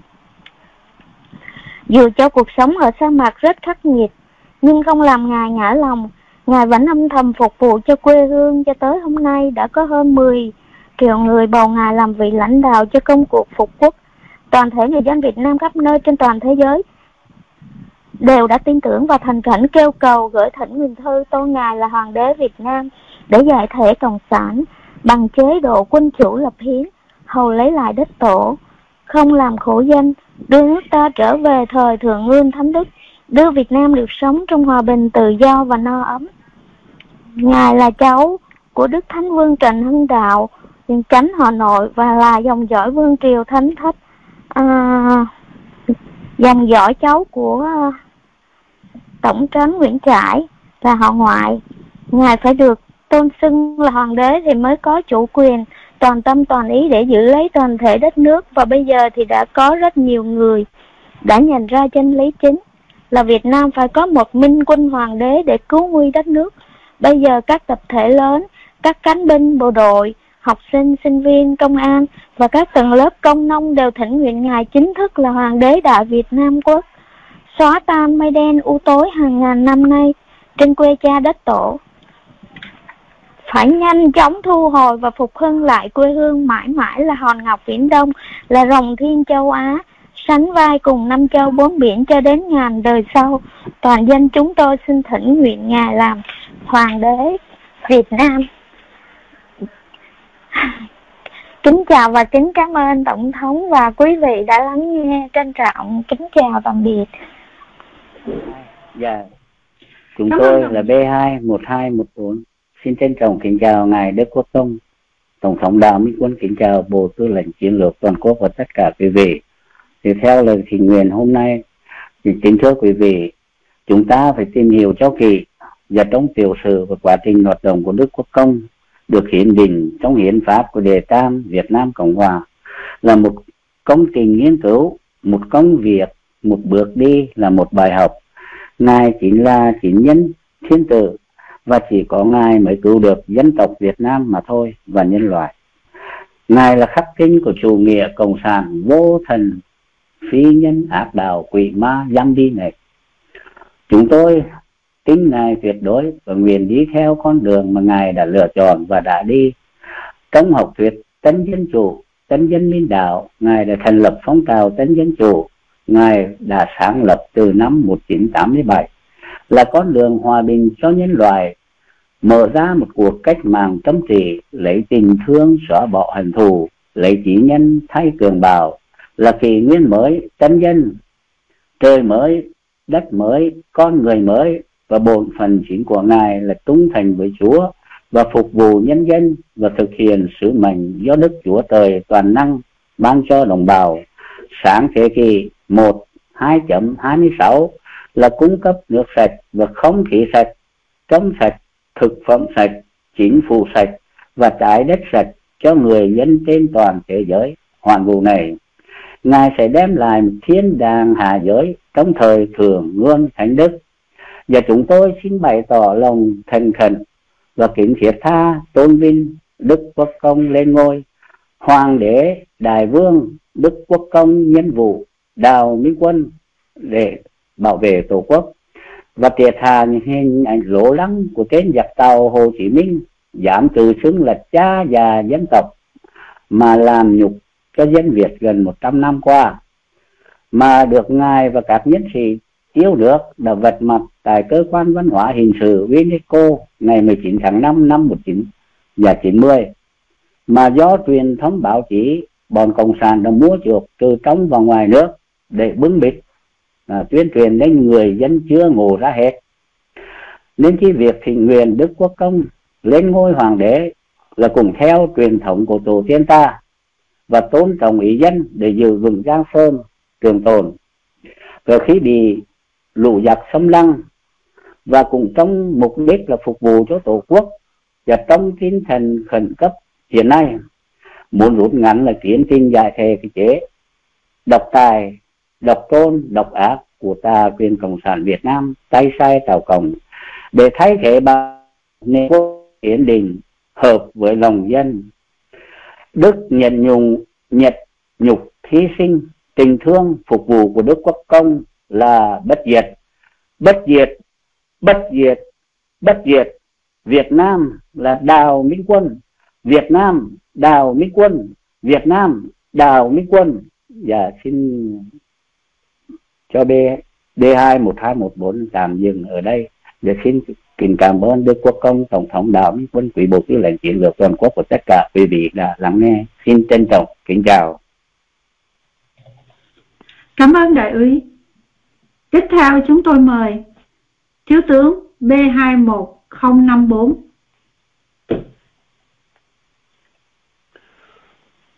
Trân trọng kính chào Đức Quốc công. Kính chào Bộ Tư lệnh Chiến lược Toàn quốc. Chúng tôi hân hạnh được đọc bài về Đại lễ Chu Niên. Tuy bài chúng tôi đang viết, nhưng chúng tôi rất là thích hôm nay để được đọc. Kỷ niệm để tứ Chu Niên ngày Tổng thống Đào Minh Quân khai sáng nền đệ tam Việt Nam Cộng Hòa cũng là dịp kỷ niệm Đức Quốc Công đứng ra nhận trọng nhiệm Thủ tướng Chính phủ quốc gia Việt Nam năm đời ngày 16 tháng 2 năm 1991 cách đây 31 năm.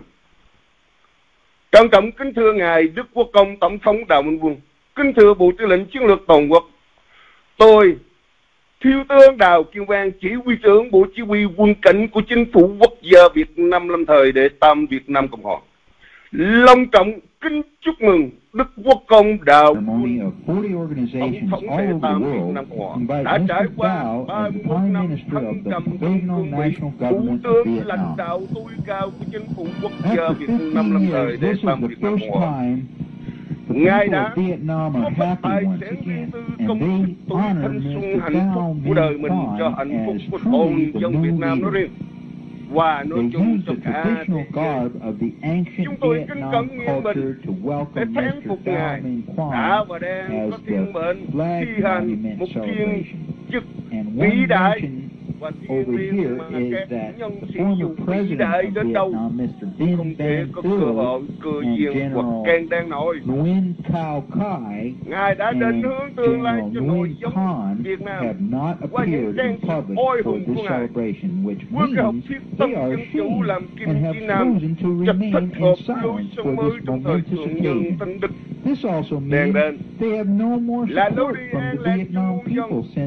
the time cho cả thế giới ở tương lai là quyền lực Kwan. tập đoàn cộng sản Việt Nam phải cúi đầu tâm phục that the political situation has changed to favor qua a chinh new chiến leader và in cho cả thế giới ngưỡng mộ và cùng hưởng một cuộc sống bình an hạnh phúc.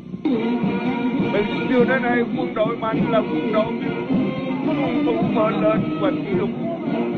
Vậy khi muốn chinh phục để tam Việt Nam Cộng Hòa sống còn thì chúng ta phải biết giữ kỹ cương vững bền, phép triển và cùng tu trí lực và nhân lực thể lực để quyết tâm đưa cho được chính phủ để tam Việt Nam Cộng về nước đó là một Thôi. Công đạo. Vì ngài sinh ra là để phục vụ quốc dân và đồng bào của nhân loại tinh thần của đạo là tinh thần không còn qua và là thực tế là không chứ bạn. Quyết liệt phục hưng lại chủ quyền đất nước. Không chấp nhận chế độ cộng sản Việt Nam mọi việc ấy thế ta viên cộng sản Việt Nam cho bằng mọi giá. Cùng nhau xây dựng lại truyền thống phúc của tiền tổ Việt Nam. Chứ chúng ta nhất định không phải là một thế chúng ta không xuất hiện trên mặt đất để cho người đời khinh thị hãy nhiên xem như tên không có ghi trong danh bộ của thế gian rồi tan biến một nét như con now that the như political thế không phải là tinh thần của Đức Quốc công tổng thống Vietnam. mà ngược lại phải sống thì phải cho lắm niệm mà the theo situation phải seems tự hào here bức very xúc evident và that Mr. Dao sinh ra trên đời người has Việt been Nam selected mặc by this nhiên là khách nợ của xã hội great group của, of của people dân to be the new Prime Minister of Vietnam. This is Don Ortega reporting in Việt San Jose. Lên ngôi vị đại hoàng đế nước Việt với ngôi vị đại hoàng đế mới có đủ uy dụng phụ quyết hết tất cả những gì mà tập đoàn cộng sản Việt Nam dâng hiến cho quan thị tàu cộng của chúng từ biển đảo đến lãnh hải Việt Nam ngài sánh với cái hữu hình đất nước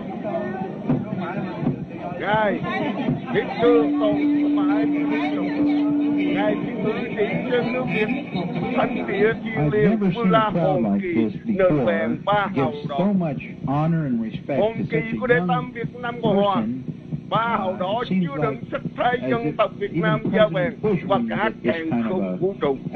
khắp phú such a sau này sẽ nhờ đến uh, anh linh thánh địa Việt Nam dìu dắt trong uh, đời sống very nhường thanh Min Đến nghĩa ba hiện tượng của hồn kỳ sau đây. uh, khi cờ bay ta có are liên honoring là càng là thiên là trời. khi cờ rủ xuống không bay ta có tam liền. Hào dọc. Là thì, là thời, là không gian. Khi cờ nằm theo tướng đất, ta có lúc đoan là khôn, là địa, là đất. Kể cả ngày sinh của Đức Quốc công Tổng thống Đạo Quân 1952 là nhâm thìn, năm rồng và đã trải qua những cái giai đoạn tìm long hiện long bây giờ ngài đang giai đoạn là di long cộng tất cả số năm sinh ra thành số đơn vị cho chúng ta số ngẫu âm địa số. Vì thế chúng ta sớm nhận diện ra ngài là sư gia của thượng đế, ban cho ngài số ngẫu âm để thích hợp xuống hồng trần, trừ tà thiết cộng sản. Tại hồng trần, cảnh vật tàn khốc nhưng ngài nhận ân dấu bao che khỏi tai họa từ quyền lực ma đạo vô hình mà cộng sản không hãm hại được. Chúng tôi thề nguyện và quyết liệt đồng hành theo ngài để giải thể tà quyền cộng sản việt nam triệt tiêu chủ nghĩa vô thần vô đạo. Các ác nhân cộng sản tại việt nam và trên toàn thế giới.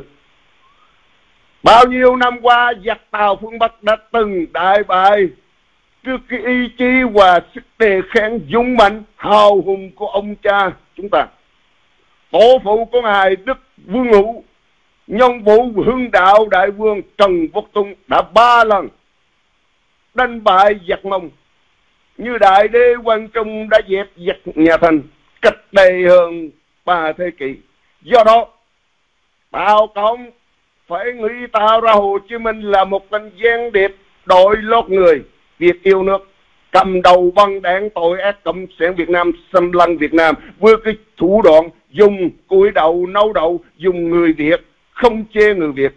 Chính tàu cộng đang cai trị nước việt. Ông nấp dưới cái tên gọi là đảng cộng sản việt nam và cái gọi là nhà nước cộng hòa xã hội chủ nghĩa việt nam. Những tên Nguyễn Phú Trọng, Tô Lam, Nguyễn Xuân Phúc và Minh Chính chỉ là những cái hình ôm dưới sự sai khiến của Tàu. Dưới sự sai khiến của Tàu Cộng đạt được đánh bóng của giới truyền thông báo chí chậm hiểu hay đánh mất lương tâm. Hỡi Tập Cận Bình, hỡi bọn Cộng sản Việt Nam hiện đang có quân vương Trần Chính cứu đời thì hãy mau mau nghiêm chỉnh cúi đầu vi thuận để sống còn và cùng nhau hướng lộc trời bàn.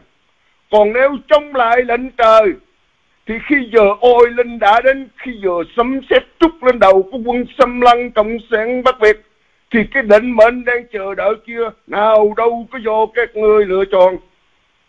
Thánh nhân nói, đạo có trong mọi không gian, sinh linh vẹn vật, Ngài Đức Quốc Công Đào Minh, Minh Quân có trong mọi niềm tin vui và hạnh phúc là hy vọng trong mọi sự sống của muôn dân. ngồi ngay ra, không ai hoặc một tổ chức nào có thể rửa khuôn mặt người Việt quốc gia cho tươi sáng. Trân trọng kính chúc Đức Quốc Công, Tổng thống Đào Minh Quân đã tròn trọng trách 31 năm làm Thủ tướng đệ tam Việt Nam Cộng Hòa. Kính chúc đại lễ chu niên được thành công viên mãn và kính chúc Ngài sớm hoàn thành giải thể tà quyền Cộng sản Việt Nam và đảm nhận một vị một địa vị hoàng đế tối cao cho quốc dân để đủ y quyền phụ quyết tất cả những gì bọn cộng sản hứa dân cho quan thị tàu cộng của chúng từ trước đến nay. Trân trọng kính chúc đức quốc công, đa minh quân, quý giới chức và đồng nhiệm trong đại lễ đệ tứ chu niên đang đến. Thật là bình an, mỹ mãn và tốt đẹp. Thay mặt chỉ huy trưởng bộ chỉ huy quân canh đào châu văn trân trọng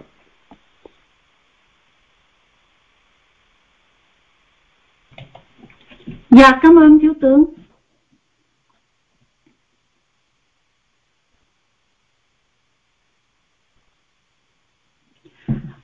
Và chúng tôi mời lại đại biểu B20118. Đại biểu đã sẵn sàng chưa ạ? Dạ. Dạ chúng tôi là B20118. Xin uh, uh, kính chào ngài Đức Quốc Công, Hoàng đế tương lai Đệ Tam Việt Nam Cộng hòa Đàm Minh Quân, quý bộ tư lệnh chiến lược toàn quốc và tất cả quý vị. Dạ theo như mà um, câu hỏi của ban điều hành là um, tại sao chúng tôi ờ, kính thỉnh mời ngài tổng thống đồng quân làm hoàng đế việt nam cộng hòa. Là vì chúng tôi thấy là ngài làm hiện thân của chúa, của phật, của đức bình phúc sổ, đều được thượng đế sắp đặt giáng sinh ờ, để mà cứu đời, cứu khổ cho nhân loại trong những lúc mà cái xã hội nó bị suy đồi tận cùng. Và như trong hiến pháp của chúng ta cũng nói là muốn lấy lại nước thì trước hết phải lấy lại đạo. Cho nên chỉ có ngài mới vực dậy cái tinh thần và truyền thống của dân tộc Việt Nam, để cho con người Việt Nam chúng ta mới trở lại với lại tổ tiên chúng ta ngày trước, mà xây dựng lại một cái tân Việt Nam mới trên thế giới với cái thời thượng thánh đức mà ngài đã chuẩn bị cho dân tộc Việt Nam chúng ta trước thế giới cho nên chỉ có ngài thì chúng ta mới được dân tộc Việt bất khuất, cương thổ Việt bất phân và nhân dân Việt bất ly mà thôi. Chúng tôi nhìn thấy ra là chỉ cần cái danh xưng mà chủ ừ, tòa án môi trường quốc tế trân trọng mời ngài là chủ tịch cảnh sát môi trường quốc tế là, đó là đủ sức mạnh cho cả thế giới nhìn thấy tài năng và trí huệ của ngài rồi. Cho nên người ta mới mời ngài làm cái chức vụ to lớn như vậy. Thì đương nhiên là công việc đất nước là ngài đã làm xong hết rồi. Ngài đã là đòi nợ được cho người dân, ngài là chủ nợ của tàu cộng, chủ nợ của cộng sản việt nam. Mà chỉ có nhờ người dân trưng cầu dân ý để mà được công, có cái công. Thôi mà người dân chúng ta trong cái chế độ mà cộng sản cũng không có thực hiện được. Thì bây giờ bắt buộc phải mời ngài làm hoàng đế để mà ngài toàn quyền quyết định cho người dân, giúp cho người dân không có bị cộng sản nó lôi kéo, nó xúi dục và nhanh chóng trở về Việt Nam xuống nguyên quốc nội. Đó là cái điều mà chân chính nhất và quan trọng nhất mà chúng ta phải trân trọng chính mình ngài làm hoàng đế đặc biệt là trong thời à, quân chủ của Việt Nam chúng ta từ trước thì cũng có nhiều khi cũng có một vài người vua không có vị vua không có uh, tốt. Nhưng mà người dân và uh, các tướng lãnh người ta cũng biết để mà người ta sửa đổi. Còn như bây giờ trong cái thời quân chủ uh, hiến định của đề tam Việt Nam Cộng Hòa thì nó không còn cái danh uh, xưng đó nữa không còn vấn đề mà truyền tự nữa mà sẽ là truyền hiền. Và đặc biệt là đương nhiên cái công sức của ngài phải hy sinh một đời như vậy, thì ngài phải tìm cái người xứng đáng để mà gìn giữ cái sự nghiệp của ngài, để mà giúp cho đất nước Việt Nam muôn đời bền vững. Cho nên chúng ta hoàn toàn tin tưởng chỉ có ngài mới thay đổi được cuộc sống cho người dân, mới đem hạnh phúc và bảo đảm toàn bộ cho đất nước Việt Nam chúng ta. Không bao giờ bị tàu cộng nó còn có ý nghĩ xâm lăng đất nước Việt Nam chúng ta nữa.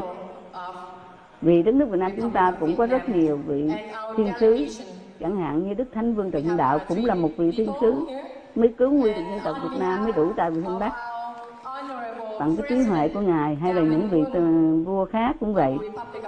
Nhưng mà những vị thiên sứ đó người ta có cái công việc là xuống là đủ tại về phương Bắc thôi. rồi người ta lại đi về trời nhưng mà chúng ta may mắn có được ngài đại thiên sứ, đức quốc công đồng minh quân, là vì ngài thấy được những cái sự thiếu sót của những vị thiên sứ trước. Chưa có cho cái dân tộc Việt Nam một cái à, sự mà bền vững muôn đời. Cho nên ngài phải giúp cho dân tộc Việt Nam có hiến pháp, có đời sống đầy đủ, hoàn toàn hạnh phúc để mà không có sợ bất cứ một cái trở ngại nào của ngoại bang. Cho nên chúng ta thấy trong hiến pháp Việt Nam Việt Nam Cộng Hòa mỗi người dân là một người lính và bất cứ ngành nghề nào cũng phải học quân sự hết trừ những người mà người ta không đủ uh, sức khỏe mà thôi. Và người dân đều phải học lớp 12 trở lên.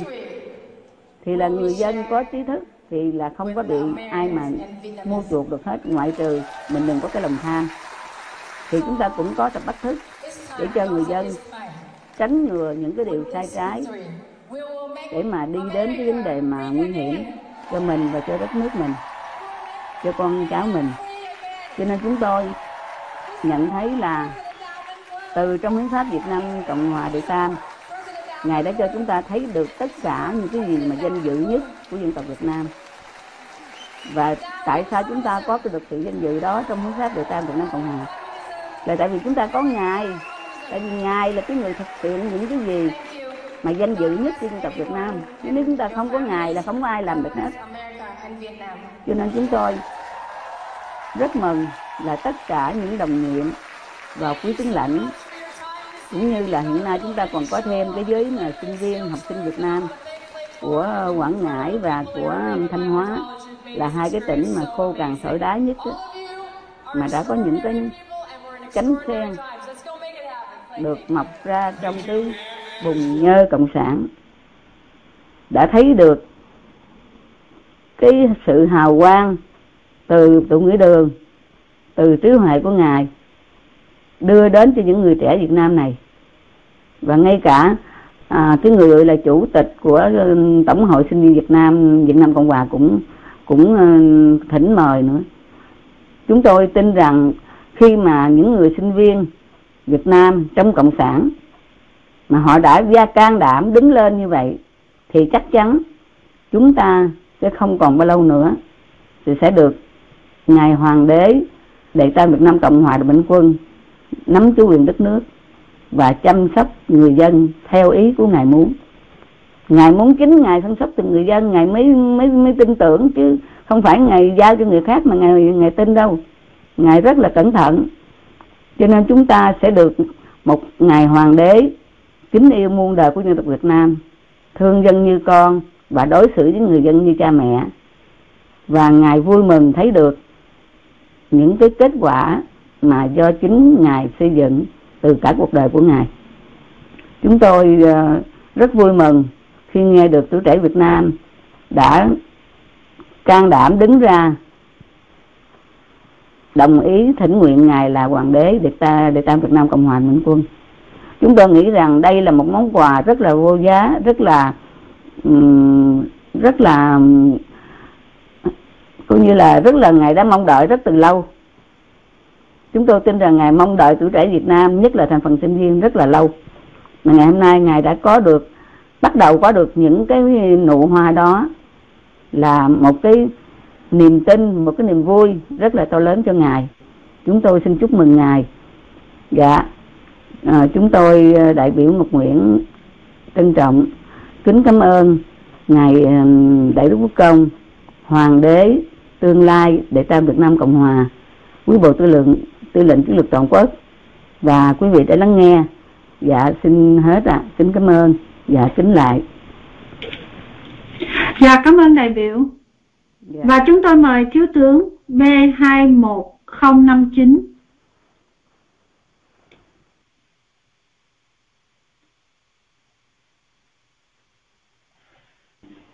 nhận năm.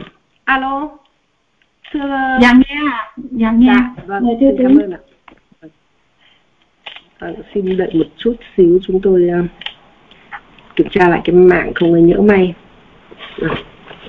dạ chúng tôi thiếu tướng trần nhân tôn xin trước hết là xin uh, trân trọng kính chào đức quốc công. Kính chào bộ tư lệnh chiến lược toàn quốc và toàn thể quý vị. Lời đầu tiên nhất vẫn phải là lời cảm ơn kính cảm ơn đến đức quốc công và kính cảm ơn đến bộ tư lệnh chiến lược toàn quốc. Bởi vì sao?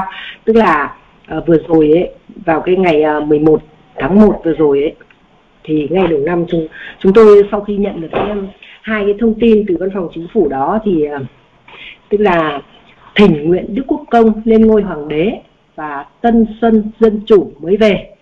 Thật sự là với một cái tâm trạng là vô cùng hân hoan. Tức là mình mừng rỡ đến mừng mừng vui tức là nó nó cảm giác như là nước mắt mình nó cứ, cứ như là nhòa đi. Đó là một cái điều rất là tuyệt vời. Điều mà ngay ngay từ trước đây là chúng tôi là vẫn luôn luôn có một cái niềm tin vững chắc. Đấy, từ trước khi mà bắt đầu khi có tin là cái đấy hai năm đó đó.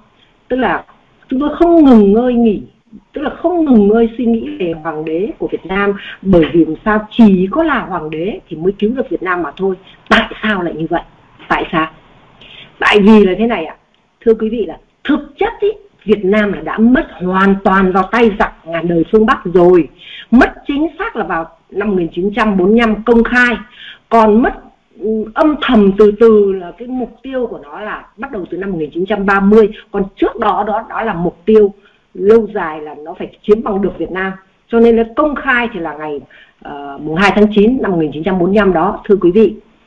Và có một điều vô cùng xót xa cay nghiệt là sao? Là chính cái người Việt Nam của mình lại không hề hay biết gì là Việt Nam đã bị mất vào tay giặc tàu. Đó là một cái đau xót nhất đó.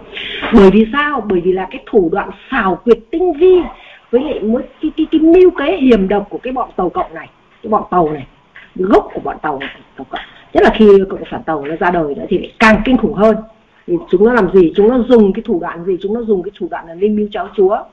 Nó dùng cái thủ đoạn ném đá giấu tay. Đấy. nó dùng củi đậu nấu đậu, tức là dùng người việt giết người việt. Anh em trong nhà chém giết lẫn nhau. Đấy tức là nó dùng tiền này gái này tình báo đấy. Đấy, để mà nó nó trà trộn được người Việt Nam nó cứ dịu dàng làm vào cho người Việt Nam mờ mắt ra không biết cái gì cả. Đó đó. Thì cái điều này ờ, thì chúng tôi thấy nó rất là khó khăn trong cái việc làm sao mà tống đuổi được cái cái cái bọn ờ, giặc tàu này ra khỏi biên cương Tổ quốc. Thì rất là may mắn là chỉ có thiên thần từ xưa đến nay là dân gian của Việt Nam cũng như ở đâu đó mà chúng ta đọc ở những câu chuyện cổ tích là gì chỉ có thiên thần thì mới gì mới mới trừ được tà quỷ dữ thôi. Và cũng chỉ có thiên thần thì mới nhìn ra được sự thật. Đấy. dùng sự thật để hóa giải và dùng sự thật để triệt hạ tận gốc cái loài ác quỷ. Đấy, tức là cái loài ác ma quỷ dữ cộng sản tàu đó. Đấy mà cái cộng sản tàu này nó chính nó là đã đẻ ra cái cộng sản Việt Nam đó. Bởi vì sao? Bởi vì Hồ Chí Minh là một tên gián điệp siêu quốc tế tàu cộng mà nó được đào tạo để cướp quốc tế mà. Và nó đã được tên chùm đạo tặc khủng bố quốc tế hút máu uh, người dân đó chính là thằng Mao Trạch Đông. Thằng Mao Trạch Đông này nó huấn luyện hơn 10 năm để mà nhảy vào Việt Nam cấp chính quyền non trẻ của Thủ tướng Trần Trọng Kim năm 45 đấy mà chính như chúng tôi vừa nói là là chính cái cái cái cái cái, cái thằng Hồ Chí Minh này nó nó nó nó thành lập ra Đảng Cộng sản Việt Nam đó năm 30 đấy chứ không phải là ai đâu. Ừ. Còn Nguyễn Ái Quốc nó thủ tiêu ngay trước đó rồi.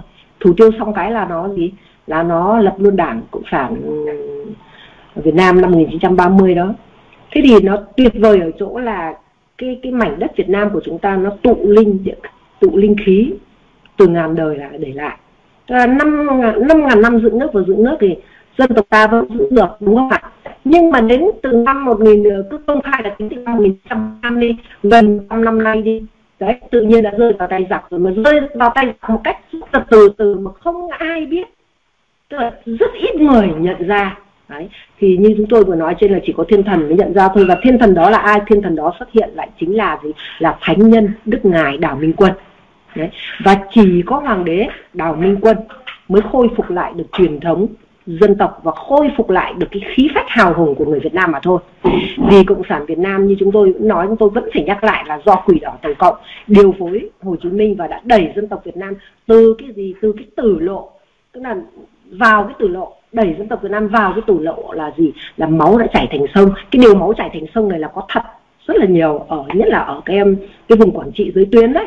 Cái năm 72 đấy 81 ngày đêm ở trên đấy là là máu nó chảy đặc luôn sánh ở cái cái dòng sông um, ở ở khu Quảng Trị đấy. Đó là cái dòng sông gì tự nhiên chúng tôi quên mất tên rồi tự nhiên lại quên đấy thì ở dòng sông Thạch Hàn.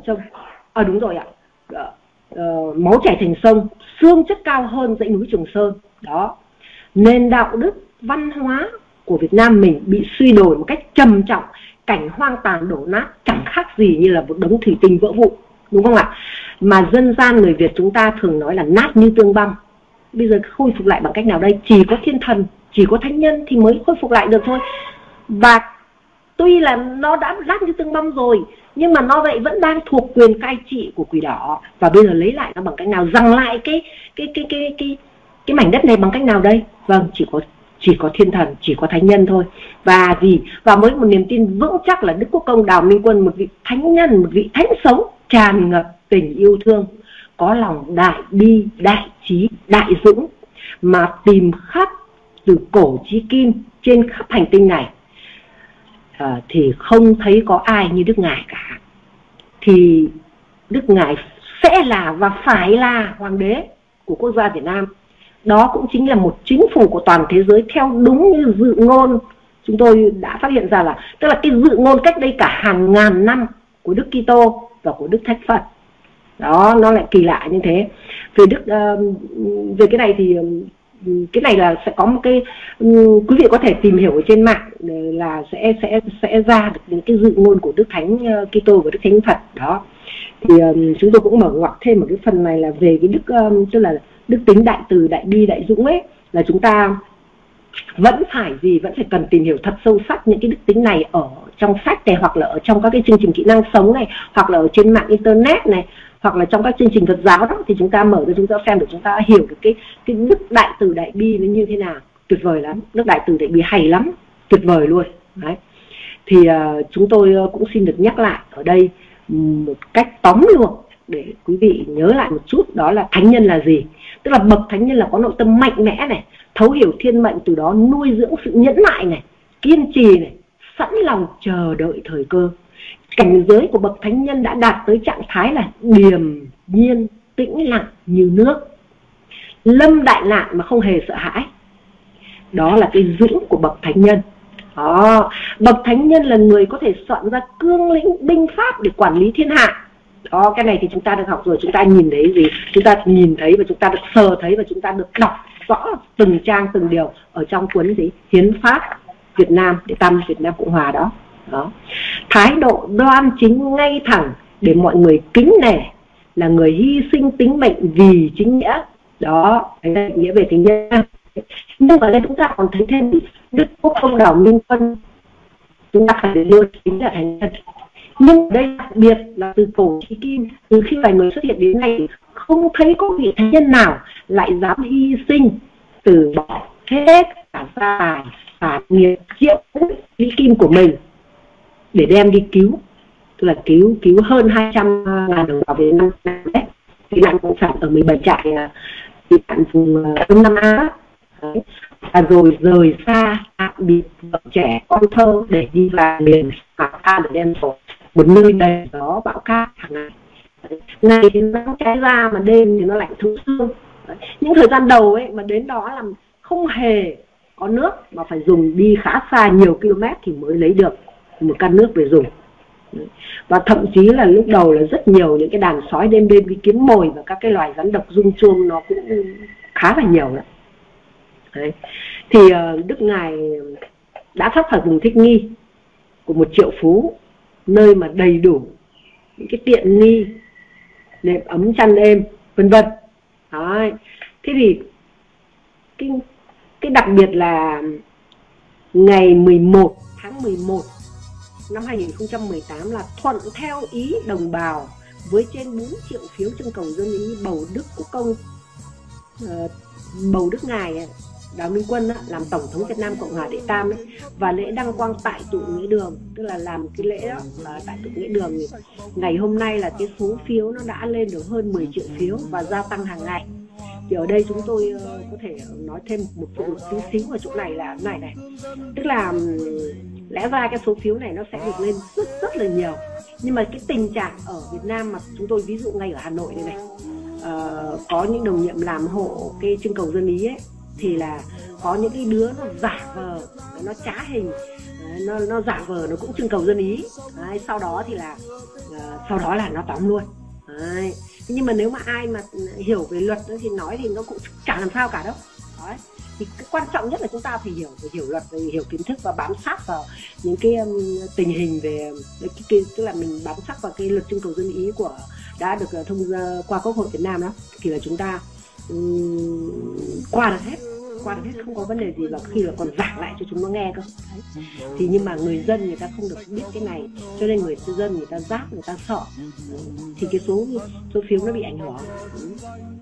Thì ở đây chúng tôi cũng nói thêm một chút là à, có một cái điều đặc biệt là là là nói về thượng đế nói về tâm linh. Nhưng thực ra tâm linh là có thật cả đều là có thật hết. Bởi vì mỗi mỗi người chúng ta là một tiểu hành tinh nho nhỏ của vũ trụ, nó đều có một sự liên kết ràng buộc lẫn nhau.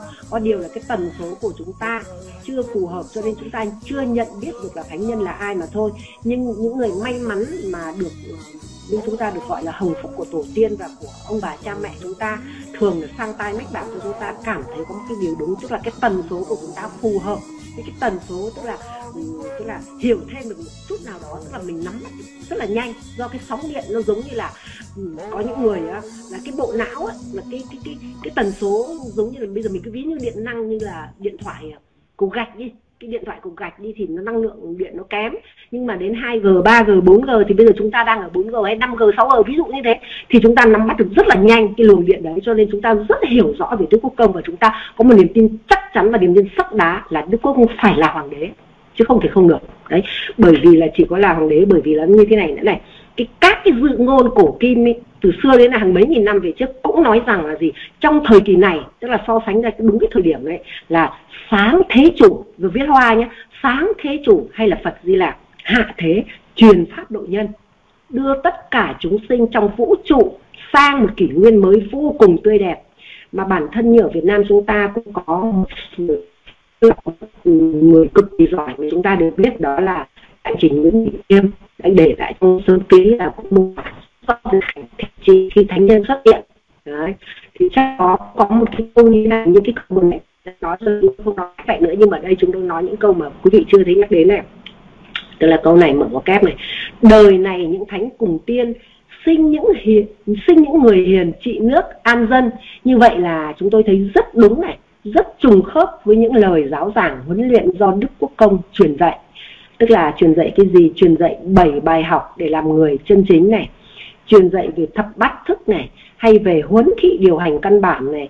Bởi vì sao? Đây á, nghe có vẻ đơn giản như này nhưng thực ra đây chính là những bài pháp những bài pháp nhé những bài pháp kinh ấy. Tôi đọc liền nhau là đây chính là những bài pháp kinh kệ của đạo thời tụng nguyên thánh đức mà đạo này chính là đạo minh quân. Đó. Ờ, và như là người đời của mình thường truyền nhau ấy chỉ có thánh nhân mới triệt như chúng tôi nhắc lại là chỉ có thánh nhân mới triệt trừ được tà quỷ ấy. Thì cộng sản Việt Nam chính là tà quỷ là loài trùng độc virus ăn mòn hút máu của nhân loại nhé. Không phải riêng Việt Nam đâu mà hút máu cả toàn nhân loại luôn. Nó còn nguy hiểm gấp vạn vạn tỷ lần cái virus corona virus corona cơ. Đó. Và theo như cái lời sống ký ấy, thì là sau giai đoạn đào thải chiến tranh và họa nạn mà như chúng ta đang nhìn thấy đây này, thì nhân loại sẽ vượt qua cơn bĩ cực thái lai dưới sự cứu độ của bậc thánh vương. Nhân loại sẽ đưa chuyển sang một thời kỳ mới, sống cùng những thánh, cùng tiên, những người hiền đức, gia trị nước an dân như thời Nghiêu Thuấn là một thời kỳ thần dân cùng tồn tại. Thế thì chúng tôi có thêm phụ lục một chút đây để quý vị hiểu thêm là trong cái mã tiên khóa của Gia Cát Lượng có viết là cứu họa cứu họa cứu nạn duy chỉ duy nhất có thánh nhân duy chỉ có thánh nhân Đấy. dương phục mà trị đêm hết ngày dạng tức là nghênh đón vạn vật canh tân bất bắt đầu một kỷ nguyên mới thì ở đây rõ ràng là gì rõ ràng đây chính là quỷ nguyên tân dân chủ mà đã được Đức Quốc công Đào Minh Quân đưa ra năm 1987 khi mà Đức Ngài chỉ mới 35 tuổi. Đó, nó rất trùng khớp, nó rất là kỳ diệu. Cái này quý vị có thể nghiên cứu thêm được ở trên mạng có hết đấy chứ không phải không đâu ạ. Rồi.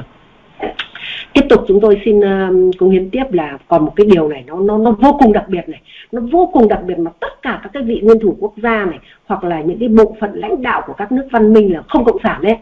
À, tức là tư bản đấy chưa hề có một người nào chưa hề có một ai nói đến là vì họ không biết hay là họ không phát hiện ra đó, mà chỉ duy nhất của đức quốc công đào minh quân của chúng ta là nhìn thấy và tìm thấy, nhá. Đó là gì? Đó là hai chủ nghĩa tư bản và chủ nghĩa xã hội. Tuy nó đối nghịch nhau đấy, nhưng mà khi phát đến một cái ờ, tức là nó khi phát triển đến cực thịnh ấy, thì nó lại biến sinh đi vào vòng luẩn quẩn của nhau.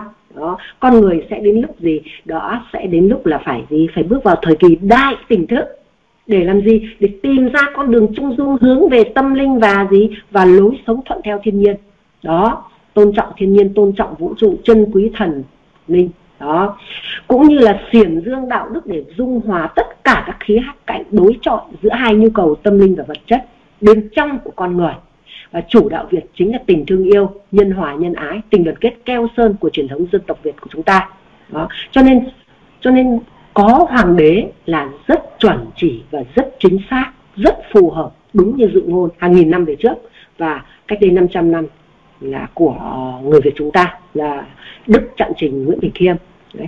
Chỉ có thanh nhân Đức Quốc Công Đào Minh Quân lên làm hoàng đế thì mới trừ được cái họa cộng sản quốc tế thâm nhập khắp hoàn cầu, mà trong đó Việt Nam của chúng ta là một miền đất bị ảnh hưởng xin lỗi, phải nói là bị cộng sản xâm xâm lấn nhé cưỡng đoạt nhé cướp cướp chiếm nhé giết chóc người dân dùng rợn tàn bạo nhất hành tinh này đó, Việt Nam của chúng ta là bị như thế đấy, đau khổ tăng tóc lên là như thế đấy đấy.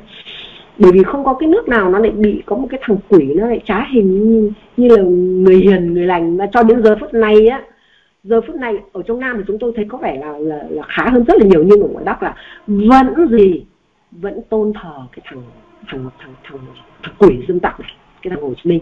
Đó. Cho nên chúng ta biết được cái nhiệm vụ của chúng ta là như thế nào. Đó còn một cái ý này rất quan trọng mà chúng tôi cũng muốn chuyển đến là tức là kết hợp với cái nền tảng gốc của văn hóa nho Việt ấy, và phục hưng cái nền đạo đức của nho Việt mà triết gia lương kim định. Ờ, triết gia lương kim định là một người rất tuyệt vời thưa quý vị. Quý vị sẽ tìm hiểu triết gia lương kim định thì chúng ta sẽ thấy được chân quý về cái tài năng và đức độ của ờ, của vị triết gia này. Đấy, ông đã khai phá ra khai sáng ra cái triết gia của, của, của gọi là triết học của Việt Nam mình đấy này đạo Ờ, uh, triết gia lương kim định đã phân tích rất rõ tức là ờ, ờ, ông phân tích rất rõ ở trong cái văn hóa nho Việt ấy, thì chúng ta sẽ thấy rằng là gì? Là thấy rằng nước Việt Nam của chúng ta mà có vua ấy có hoàng đế ấy, thì cực kỳ tức là tức là vô cùng phù hợp. Và thật sự là một món quà vô giá mà đấng tối cao thượng đế và hồn thiêng sông núi đã ban cho đất mẹ Việt Nam của chúng ta. Muốn bình thiên hạ là phải phải là hoàng đế mà hoàng đế đó phải là Đức Quốc Công Đảo Minh Quân. Không thể có một ai khác được nữa. Đó. À, kính mời quý đồng bào Việt thân thương và mời quý vị là hãy nhìn lại lịch sử gần nhất là Đức Quang Trung Nguyễn Huệ. Đã phải đứng ra xưng vương hoàng đế để cứu nguy nước Việt thoát nạn giặc tàu xâm chiếm. Xa hơn một chút nữa là Đức Lê Lợi. Ừ, cái này chúng ta có thể nghiên cứu thêm bên ngoài. Chúng tôi thời gian ngắn ờ, chúng tôi chỉ cần nói đến đây là quý vị sẽ tự hiểu. Và bài thuyết trình của chúng tôi là ừ, xin tạm dừng tại đây chúng tôi kính chúc hoàng đế, vị thánh nhân đào minh quân, Bộ Tư lệnh Chiến lược Toàn quốc và Đại gia đình Chính phủ Quốc gia Việt Nam lâm thời luôn dồi dào sức khỏe, vạn sự cát tường, an bình và được ban ban hưởng hồng ân của đấng tối cao thượng đế và hồn thiêng sông núi nước Việt. Trân trọng. B21059 xin kính chào. Đã hết ạ. Chương trình Đài Tiếng Nói Đoàn Nữ Quân nhân Quân lực Việt Nam Cộng Hòa tới đây xin tạm dừng. Kính chào tạm biệt và hẹn gặp lại đồng bào trong chương trình kỳ tới. Đoàn nữ quân nhân luôn hô to ba lời thề son sắt của Đức Quốc Công, Tổng thống Đào Minh Quân đã truyền dạy. Dân tộc Việt bất khuất, cương thổ Việt bất phân, nhân dân Việt bất ly. Mọi bài viết đóng góp hoặc đơn tham gia vào đoàn nữ quân nhân, quân lực Việt Nam Cộng Hòa, xin gửi về hộp thư email nữ quân nhân a chính phủ quốc gia Việt Nam lâm thời, viết tắt.com Xin kính chúc sức khỏe và bình an đến với mọi người dân Việt Nam thân thương trên toàn cầu. Trân trọng